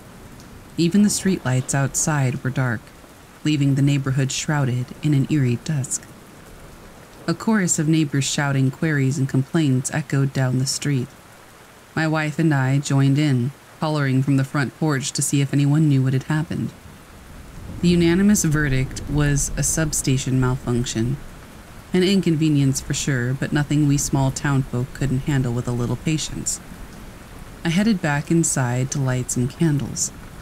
As I turned to shut the front door, a flicker in the sky gave me pause. I peered out. Was that a plane flying overhead? But no, it was too large and silent, more like a drifting cloud backlit by moonlight. Except the moon wasn't out tonight. The hair on the back of my neck prickled as I craned my head to follow the object's path. It wasn't alone either. Two more huge amorphous shapes drifted into view, emanating an otherworldly green glow. They were definitely not clouds. A primal unease stirred in my gut, whispering, Get away, telling me I did not want to know the nature of those shapes in the sky. Honey, my wife called from the kitchen, could you bring in some more candles? I lingered a moment longer, uneasy gaze fixed overhead. The shapes continued their silent traverse, showing no signs of stopping over our small town. Some kind of military aircraft, maybe? But what were they doing out here in the boonies? Did you hear me? My wife appeared behind me, her voice sharper, what are you looking at? I, I don't know, I stammered, pulling my eyes away. Weird lights in the sky. M- military planes, I guess. Her eyes narrowed as she scanned the horizon. I don't see anything. A lame joke about my eyesight was on the tip of my tongue when a thunderous boom rent the quiet night open. We slapped our hands over our ears, ducking instinctively as the windows rattled. Car alarms whooped a chaotic chorus down the street. Dogs howled, and alarmed neighbors stumbled into their yards. What the hell was that? My wife shouted over the din. Through the open door, we gaped as an enormous green fireball roared overhead, arcing toward the woods at the edge of town. It disappeared behind the trees with an earth shaking crash leaving silence and swirling ashes in its wake. For the space of a few racing heartbeats, no one moved. Then our neighbors began shouting questions back and forth, asking if anyone had seen what had happened, if everyone was okay. I shook myself from my shocked stupor. I'm calling 911, I announced, reaching again for my phone. But when I tried to turn it on, the screen stayed black. I smacked it against my hand a few times, to no avail. Power's still out, my phone's dead. Can I borrow yours? It's dead too, my wife said. What did we just see? A meteor, maybe? Some space junk? I said. I peered uneasily up at the night sky, but it was now empty of any unexplained lights. Only a wispy trail of smoke snaked above the trees, marking the object's landing site. As I wondered aloud who might go to investigate, the streetlight suddenly flashed back on. A cheer went up from the growing crowd of residents now congregating on porches and sidewalks, glad to have light and power again after the disturbance. My phone vibrated in my hand as it rebooted. Before I could access anything, it began pinging and buzzing with emergency notifications from the county. I quickly scanned the flood of headlines demanding people stay inside and lock their doors and windows. Local emergency services were being overwhelmed by panicked calls, and law enforcement was struggling to maintain order in neighboring towns amid chaotic reports of strange lights in the sky and unidentified crashes. Officials were advising everyone to remain calm and stay put until the situation could be sorted out. Easier said than done, as panic was already rippling through our small community. More meteors and unidentified objects continued streaking overhead every couple of minutes, adding to the confusion and fear. Against official recommendations, some neighbors were hunkering down in their basements, while others were piling into cars and peeling out to flee town.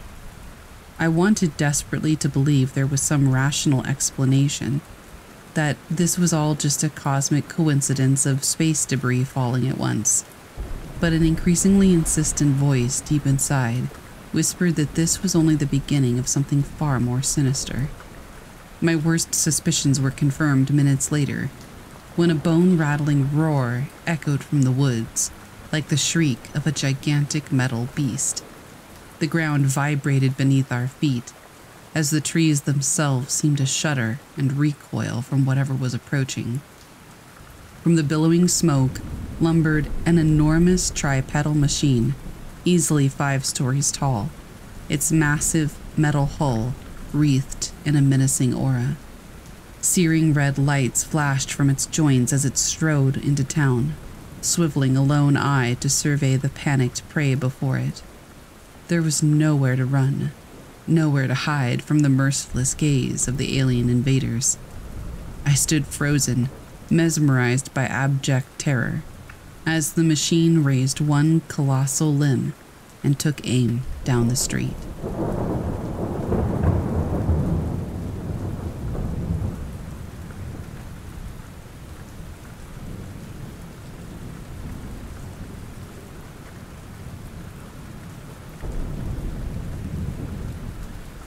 My telescope was my sanctuary, a way to escape the mundane things of the terrestrial and gaze into the celestial realm. A clear night, no clouds to obstruct the sky's panorama of stars. Comfortably seated in my backyard, I peered through the lens, losing myself in the choreography of constellations and planets. But that night, something interrupted the familiar tableau.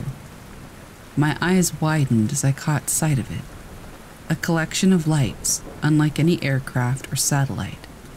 I adjusted the telescope's focus, my breath caught between fascination and a prickling sense of unease.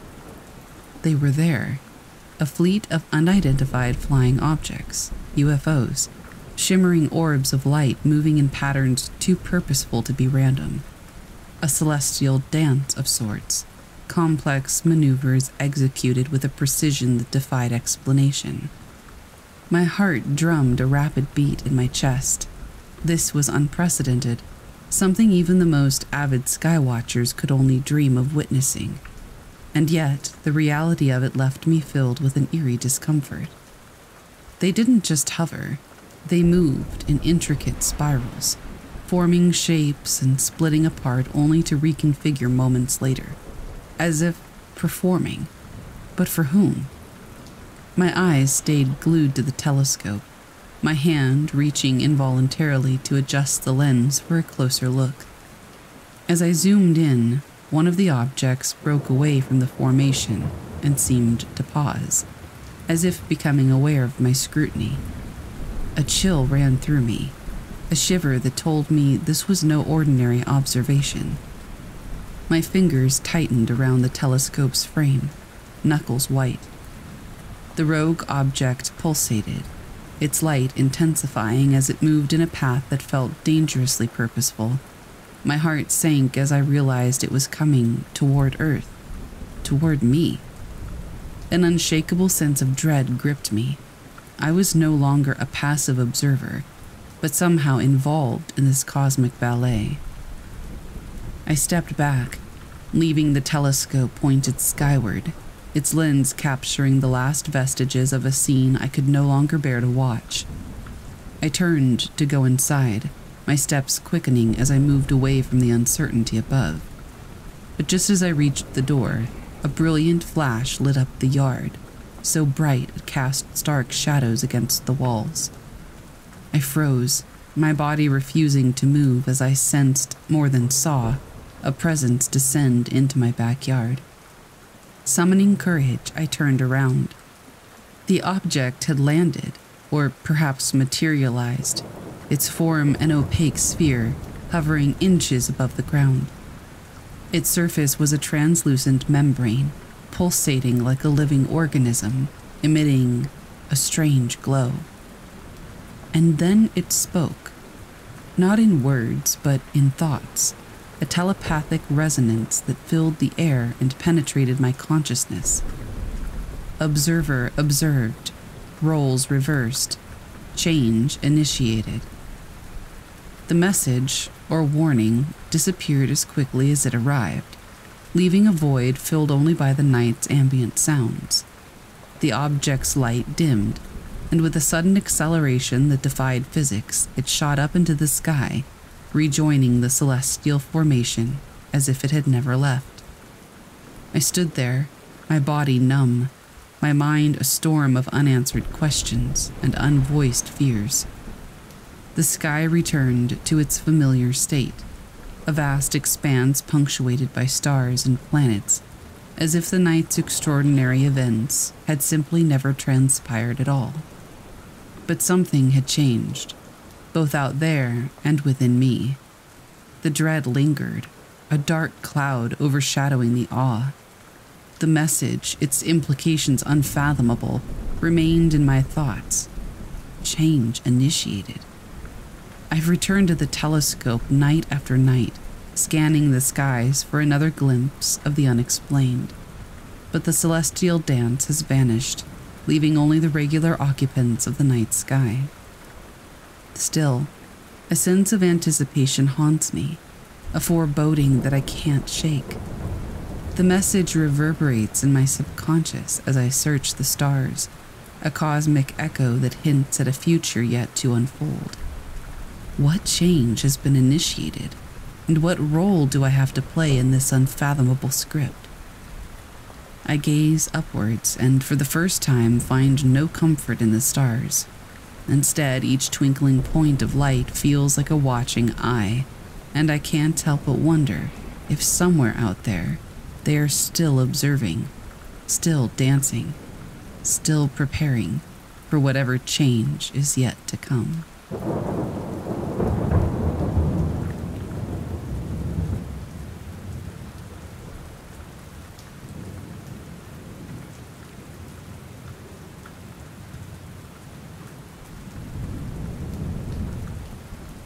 This incident occurred to my boyfriend and I roughly two years ago, deep into the night. I felt compelled to share this story, as it has left an indelible mark on me and plagues me with nightmares to this very day. It was a September night around 2 o'clock in the morning. We live about 25 minutes outside a town in northern British Columbia, with our house nestled in the woods. Due to the seclusion of our road, we would typically pull out of our driveway before turning on our car lights, a quirky habit we both shared. After this night, however, our lights go on instantly. On this particular night, I was driving. As I made a left out of our driveway and switched on the high beams, we saw it. A strange, hairless, pale humanoid entity was crouched in the middle of the road. It almost appeared luminescent, but that might have been due to its extreme paleness reflecting the high beams. It sharply turned its head toward us, seemingly startled by our sudden illumination. In a matter of seconds, this being awkwardly moved across the road with disjointed motions, finally descending into the three foot deep ditch. But that wasn't the end of it. From the ditch, it turned to face us, standing upright on its hind legs. Its stance was eerily similar to a human, yet off. Considering the depth of the ditch, the creature loomed more than five feet above it, making it taller than our vehicle and putting its height at well over seven feet. It adopted an aggressive posture, shoulders hunched, leaning slightly forward, peering intently at our car. And in that moment, I felt it. It wasn't just looking at our car, it was gazing intently through the window, directly at me. Its gaze conveyed an unsettling intelligence, as though it knew that we were the ones controlling the vehicle. Matching its pace with our car's crawl, I maintained eye contact, watching it twist its neck to keep its gaze locked onto me even as we passed. Once it was out of sight, I refocused on the road ahead. Silence filled the car. We both processed the encounter in solitude, in our own minds, silent, driving under 10 kilometers per hour. I seldom recount this story, as many either scoff at it or attempt to rationalize it as a malnourished albino bear or things like that. Fast forward to a year later, just before winter, his parents, who own a dog, came for a visit. One evening, at dusk, his mother and I were enjoying a smoke on our six foot high deck.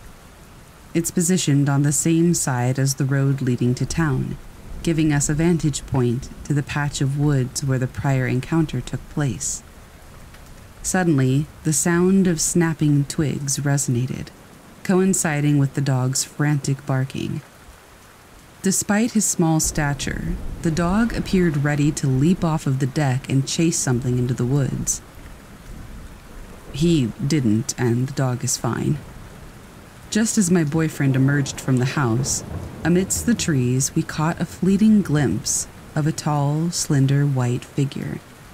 Its definitive features were obscured, and given his mother's poor eyesight and her missing glasses, she didn't see much but a gut wrenching sensation told me that it was the same entity. I chose to share this experience, hoping for understanding and perhaps belief from those in this community. Now, we avoid venturing outside after dark. Strangely, a part of me yearns to see it again. Before this incident, I had read similar stories with a sense of detached fascination.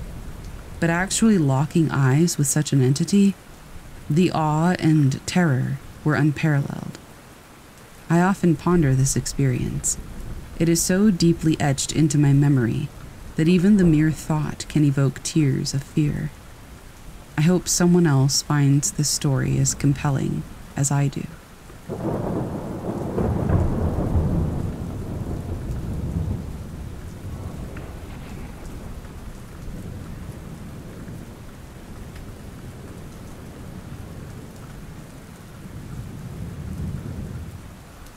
It was meant to be a celebration. My buddies and I were camping along the Black River to commemorate graduating high school. We'd been planning this trip for weeks, ever since the invitation to a night of beer and bonfires deep in the forest came from Jake's older brother. He knew the area well from fishing trips. That first night went perfectly, drinking and joking around a crackling fire under more stars than I'd ever seen. Sometime after midnight, I wandered away from the group to take a leak. As I was zipping up, something in the river caught my eye a dark, massive shape cruising slowly against the current. I stared, puzzlement turning to unease. It was no overturned log or debris. This shape had a defined head and body, with what looked like several limb like appendages trailing behind. As the moon briefly illuminated its surface, I glimpsed something scaly and slick, something very much alive. I hustled back to the fire, trying to convince myself it was just an odd shadow, but a nagging dread lingered at the back of my mind. I didn't mention what I'd seen to the others. They were pretty hammered and would have just laughed it off. Eventually, I passed out in my tent. Sometime before dawn, I woke to urgent whispers right outside the tent flap. It was Jake and some others, crouched in a circle. What's up? I asked groggily, crawling out to join them. Jake shone his flashlight toward the tree line. Huge claw marks gouged deep into the bark of several trees, sap still oozing. The gashes were far taller than any animal native to these woods could make. What the hell did this? Jake breathed. I slowly told them about the dark shape I'd seen earlier in the river. As I described it, their eyes widened with fear. We agreed to pack up camp first thing in the morning, but morning would not come fast enough. Later that night, I was roused from my tent again by whoops and chaotic laughter from the group. They were gathered at the river's edge, chucking rocks and sticks into the water. I rushed over, convinced that they were drunkenly provoking whatever had left those gashes. Stop it! I hissed, but no one would listen. They just jeered and kept throwing things, Suddenly, a monstrous shape exploded from the black water, not 20 feet from shore. I barely glimpsed black, scaly skin and huge claws before it disappeared with a splash. Everyone froze, mouths agape. Let's get the heck out of here, Jake said shakily. No one argued. We began tearing down camp as quietly as possible, but it was too late. An earth shaking roar boomed out of the darkness, followed by a splashing charge through the shallows, straight toward us. Panicked, I sprinted for the trail that led back to the cars. Glancing back, I saw a hulking creature haul itself from the water. It stood upright on two muscular legs, black scales glistening. Moonlight glinted off rows of sharp teeth in its elongated crocodile like snout. Heavy claws flexed at its sides as it roared again in rage. Chaos erupted.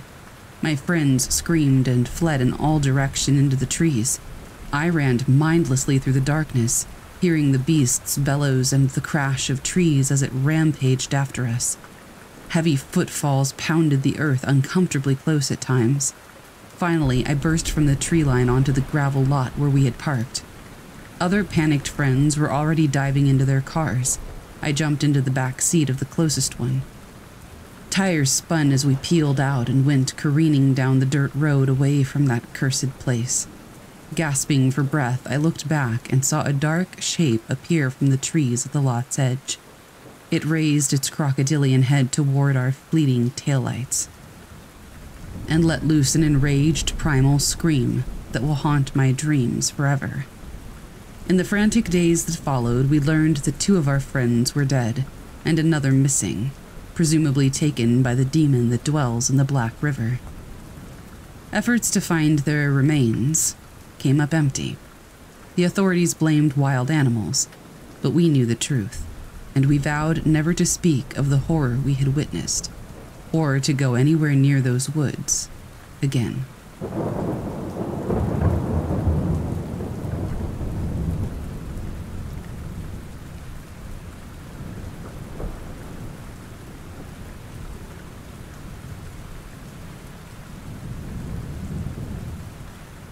I'll never forget the summer night my friends and I decided to explore the waterfall and creek on my family's rural property. We were bored teens looking for adventure. Little did we know what we would awaken. As dusk faded to darkness, we hiked along the creek, conjuring imaginary monsters in the shadows. Reaching the waterfall, we scrambled up the slippery rocks, laughter echoing. Behind the cascading water, a recess opened in the cliffside. Flashlight beams revealed a tunnel leading back into darkness. Grinning, we ducked inside, the roar of the falls fading behind us. The narrow cave passage spiraled deep into the earth, dripping water eroding strange patterns on the walls. It felt primal, pristine.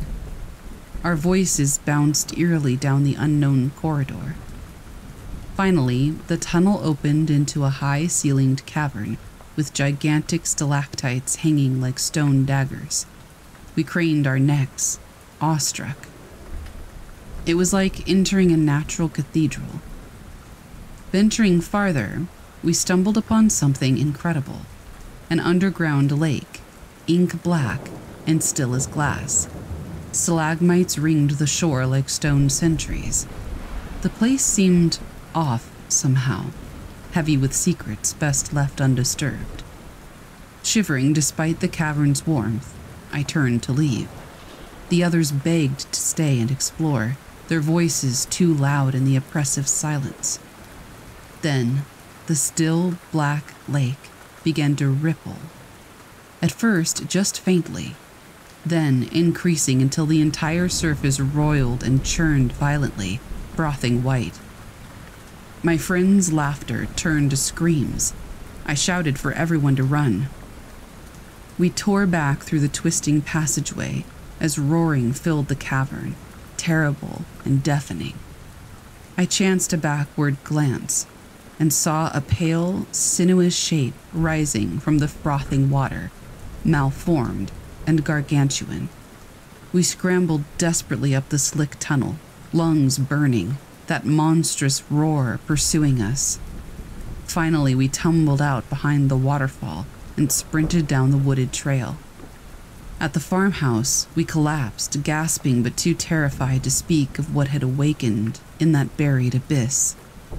I only know we unleashed something primeval, lurking in those sunless depths since the dawn of time. Something that knows the surface world still waits above, full of light and life not yet corrupted.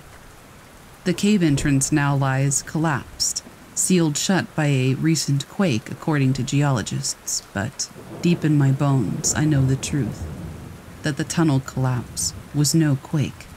It was the only way to re entomb that which we should never have freed. I still have nightmares of the warped white form erupting from the subterranean lake, slamming into the cave walls in chaotic rage, as it surged toward the surface, toward freedom. Whatever that ancient thing was, it thirsts to be unleashed. And I fear one day it may finish crawling out of the depths we disturbed, its patience eternal.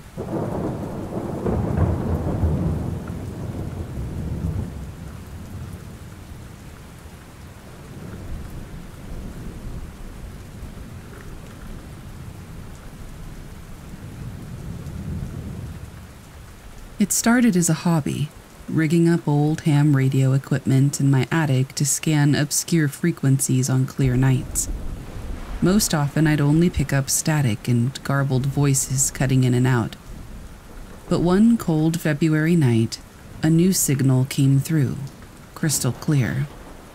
A sequence of musical tones, almost like a synthesized choir chanting. It repeated every few minutes, strong and purposeful.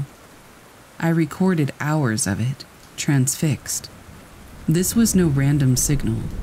It carried something meaningful, a clear message of some kind. I digitized the audio and ran it through decoding software to analyze the patterns. After days of work, a set of geographic coordinates emerged To my shock, they pinpointed a remote spot less than 20 miles from my house. The signal had to be coming from there. The next morning, I hiked out to the coordinates located deep in the woods. I nearly dismissed it as just a prank when the alleged source came into view.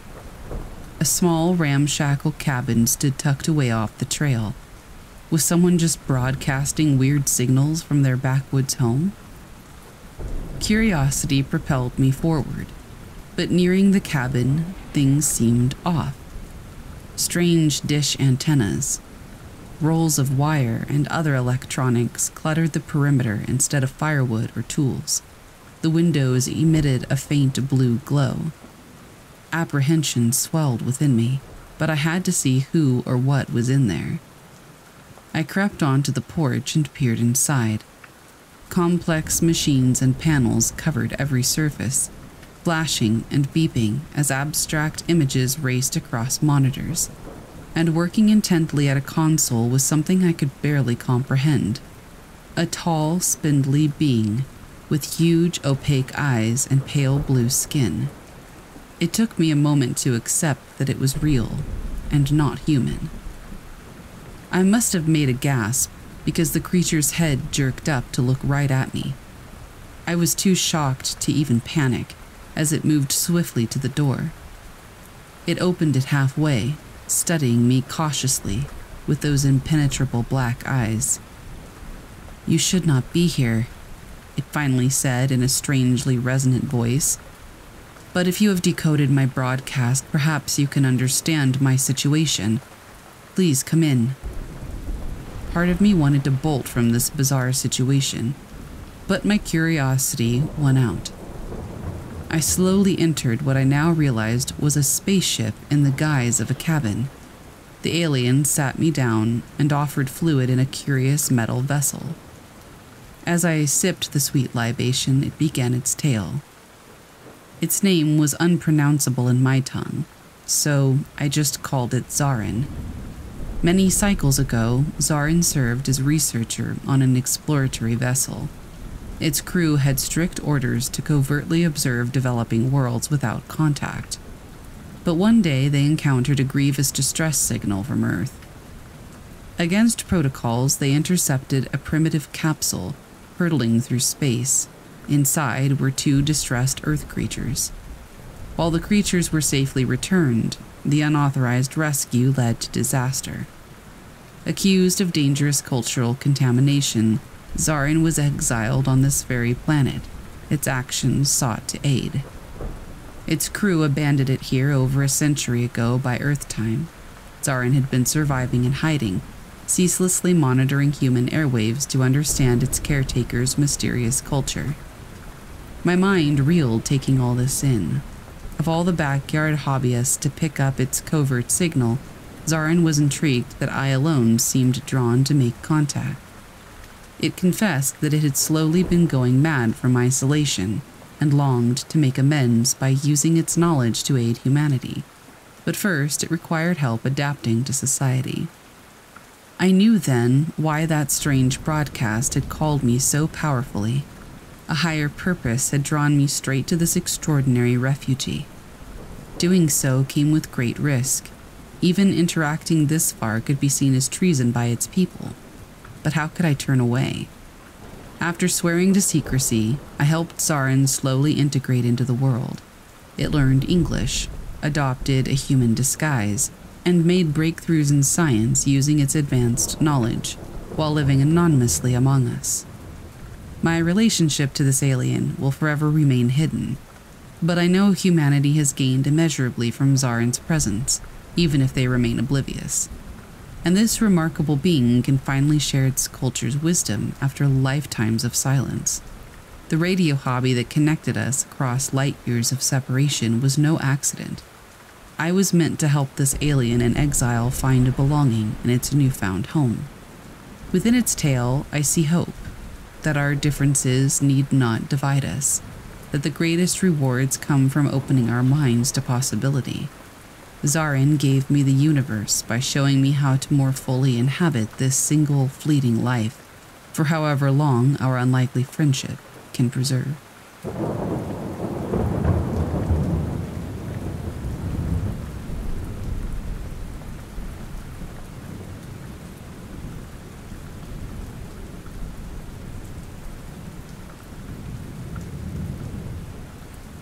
Beacon Hill, with its gaslit streets and federal style row houses, always felt to me like a step back in time.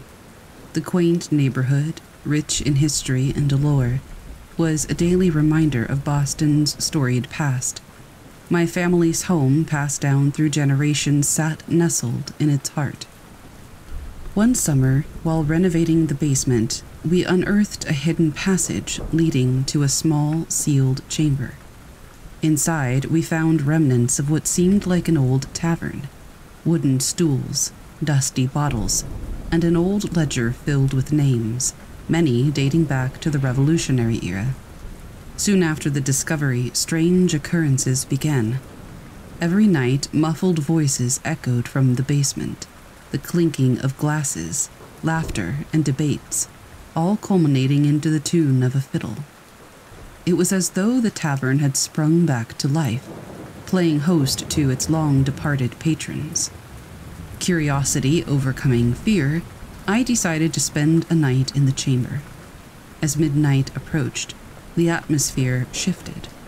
The room, though void of any living soul but myself, felt crowded. Shadows flitted across the walls, and soon the murmurs began. I could discern snippets of conversations, tales of battle, secret meetings, revolutionary plans, and stories of love and loss. Among these voices, one stood out a young woman's voice singing a mournful ballad of a lover lost at sea. As dawn neared, the spectral gathering waned, and the chamber plunged back into silence. I emerged from the basement, feeling a deep connection with the spirits that once called Boston their home. Digging deeper into the house's history, I learned that it stood atop an old tavern a hotspot for revolutionaries, thinkers, and sailors in the 18th century. The singer, as per local legends, was Lillian, the tavern owner's daughter, who often sang for patrons and tragically lost her fiance to the tempestuous Atlantic. Today, our basement remains a testament to Beacon Hill's vibrant past. While we've modernized it, the old chamber is preserved, and on some nights, when the winds howl and the city sleeps, you can still hear the echoes of a time gone by, the whispers beneath the cobblestones, reminding us of the souls that once walked these streets and the stories they left behind.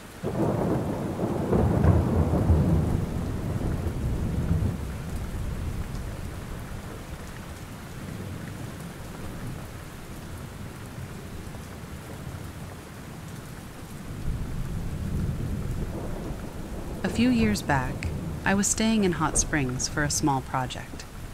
The town, steeped in history and known for its actual hot springs, also had an undercurrent of stories about paranormal happenings, something I've always been curious about but never truly believed. That skepticism was challenged severely during my stay. It began on my second night in town.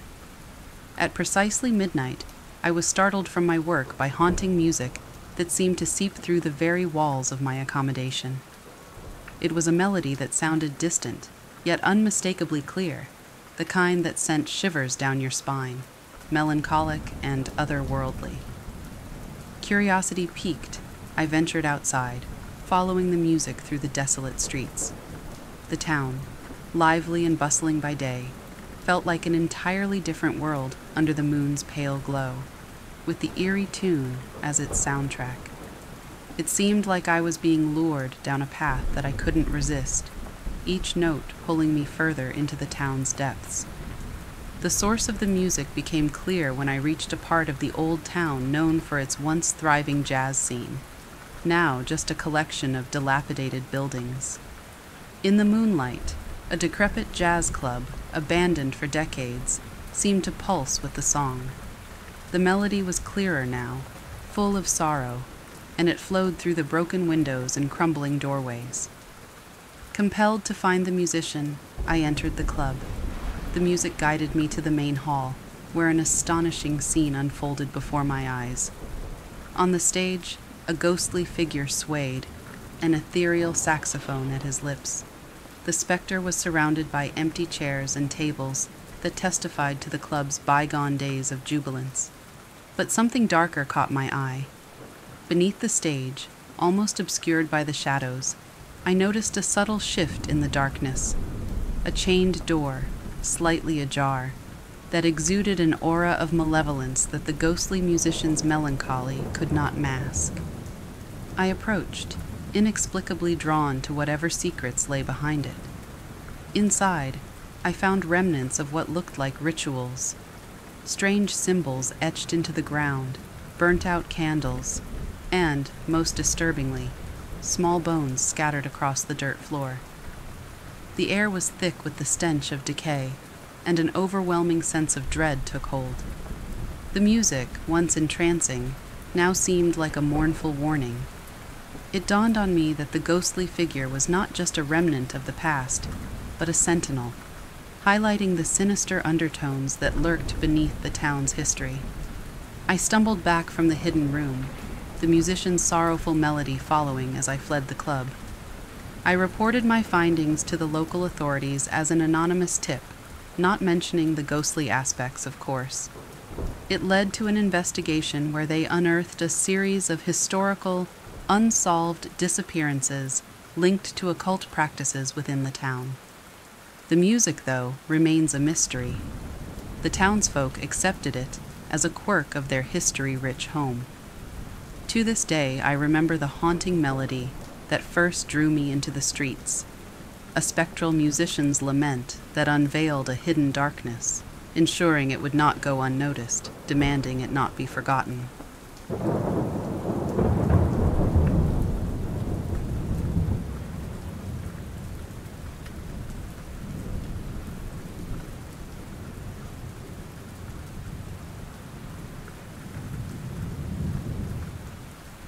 The city was a labyrinth of narrow alleys and sprawling plazas, soaked in a history that I could only appreciate through the lens of a camera. Every corner seemed steeped in a story that I couldn't fully grasp. I didn't speak the language, relying on fractured phrases and Google Translate to get by.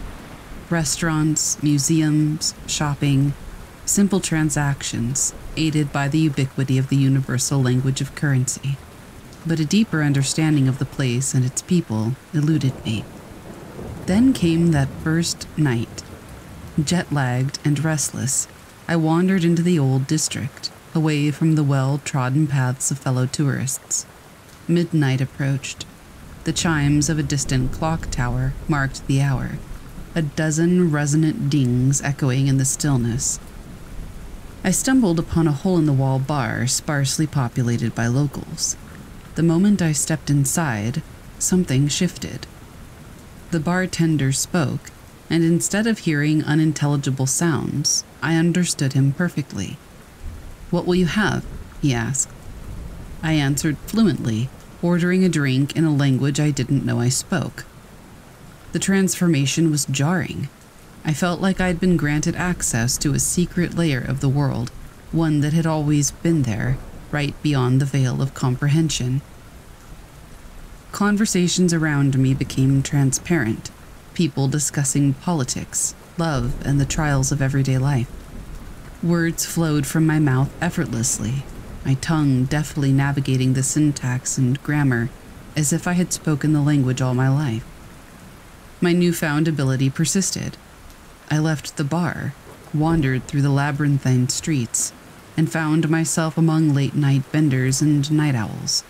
I conversed with ease, each interaction deepening my connection to the city and its inhabitants.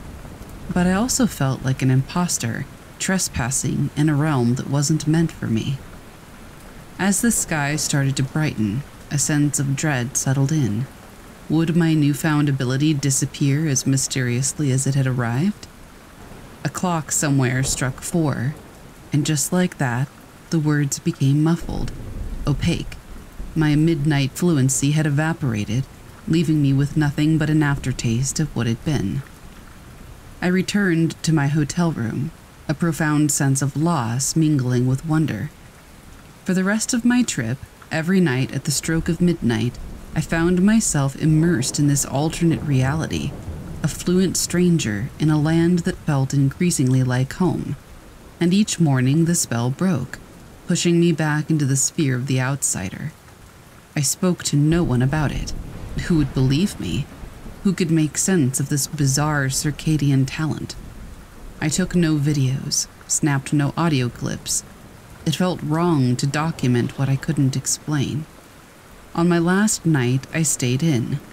I watched the city through my window, the streets slowly emptying, the sounds of a language I could temporarily call my own filling the air as the clock tower struck midnight. A final evening of fluency before boarding a plane to a place where words wouldn't evade me. I left the city, carrying its alleys and midnight conversations in the inner chambers of my memory, an experience bound to time and place.